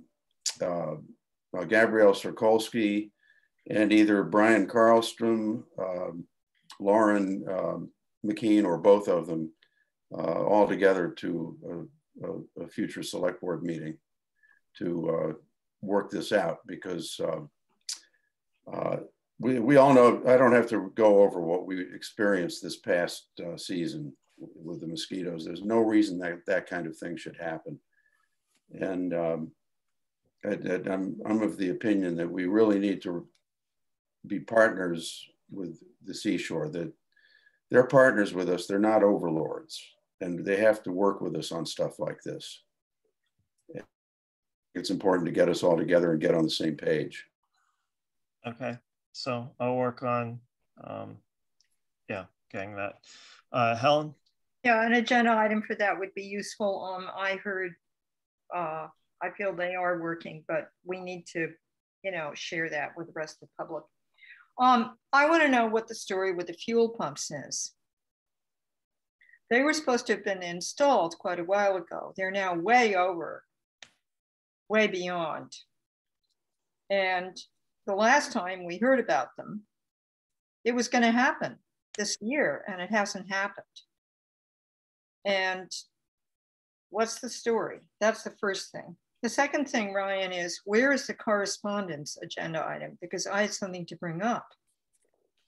Um, this isn't our regularly scheduled meeting Ah, on Tuesday. okay, fine. Okay, sorry. I just thought it was an oversight. You're right. I've lost track of what's a regularly scheduled meeting at this point. Um, but the fuel pumps, why aren't I? Ah, thank you. Uh, Charlie? Um, yeah, th- thank you, Helen. I, I probably um, should have wrote that in my report.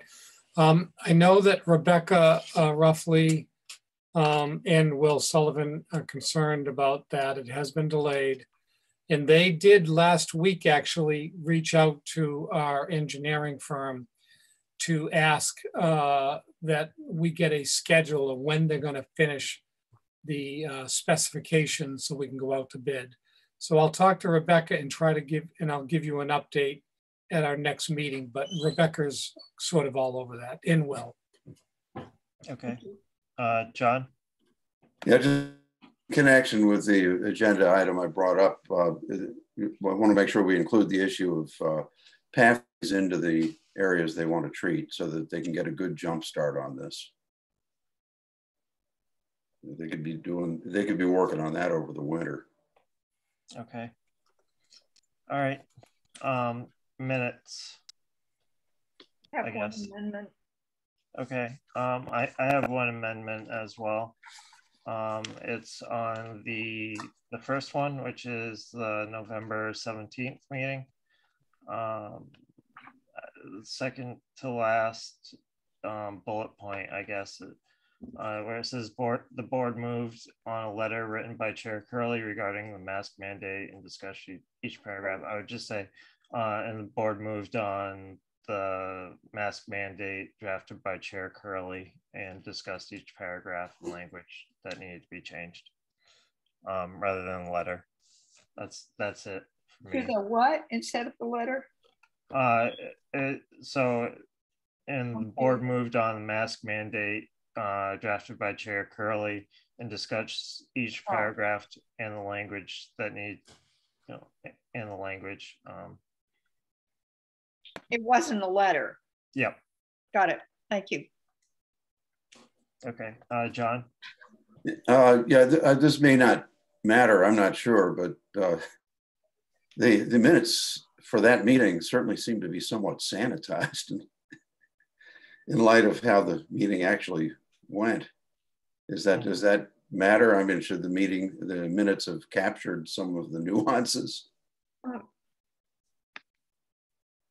Uh, The May I address that? yeah, sure, Helen. In my opinion, John, the person who takes the minutes has, you know, kind of a sacred role and they get to give us whatever they want. And we, together at one of our open meetings, if it's an open session set of minutes, can amend them any way we want. Right?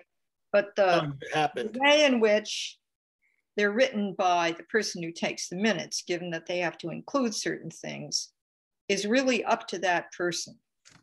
Thank you. Okay. Uh, I'd like to just offer an amendment Okay, uh, that I, I was present at the meeting, but uh, I was unable to communicate due to um, uh, connectivity. okay. I just like that noted in the minutes somewhere. But when? Mm, like somewhere around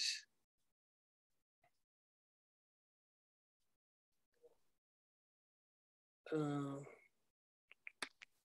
Um, Ryan? just right where the board where the board moved on the letter, whatever Ryan amended that. Just say Michael DeVasto was unable to comment at the at the meeting due to connectivity. Okay. Um, So just then, right? Not another point. Well, it was the whole meeting actually, but I could hear you guys, so whatever. It doesn't really matter.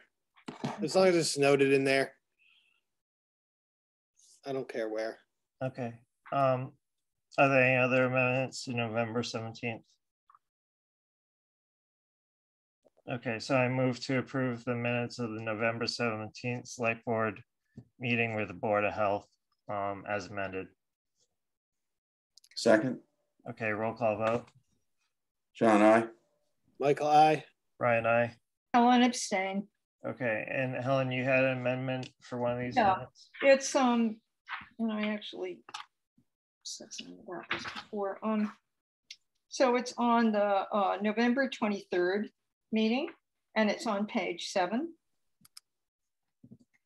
And it's also earlier, and I commented on this before. Um, at a certain point, I left the meeting. And at the point, and I, I noted when it was at the time. Um, and right there after that agenda item, it should say there should be a line, Wilson left the meeting. And to give the time, which was 8:45. And having it at the end does not signify that. Therefore, you go through the rest of the meeting without any vote coming from me. And that's the reason it needs to be put right after that section. And that is in the recording, I think, of the last meeting. You know, I pinned it down when it was I left. So mm-hmm. if you could mm-hmm. please amend that, Rebecca, to include that information. For the Thank you. Twenty-third? Helen, you voted on the minutes on the 23rd and amended them at the end of the meeting. Yeah, Yeah, but I amended them. So what am I looking at these minutes for? I'm looking at Tuesday, November 23rd. We were given these minutes in this packet. Right, but it, listening to the meeting, you amended the minutes. So if you couldn't have left the meeting if you amended the minutes. Yeah, I don't think you left the meeting for that, for the It wasn't that meeting that you left. It was November 9th. Okay, sorry. Oh, I see. That's the amendment. Forgive me. Sorry to take the time. No worries, it's late. Okay, uh, so I move to approve the minutes of November twenty-third and November thirtieth?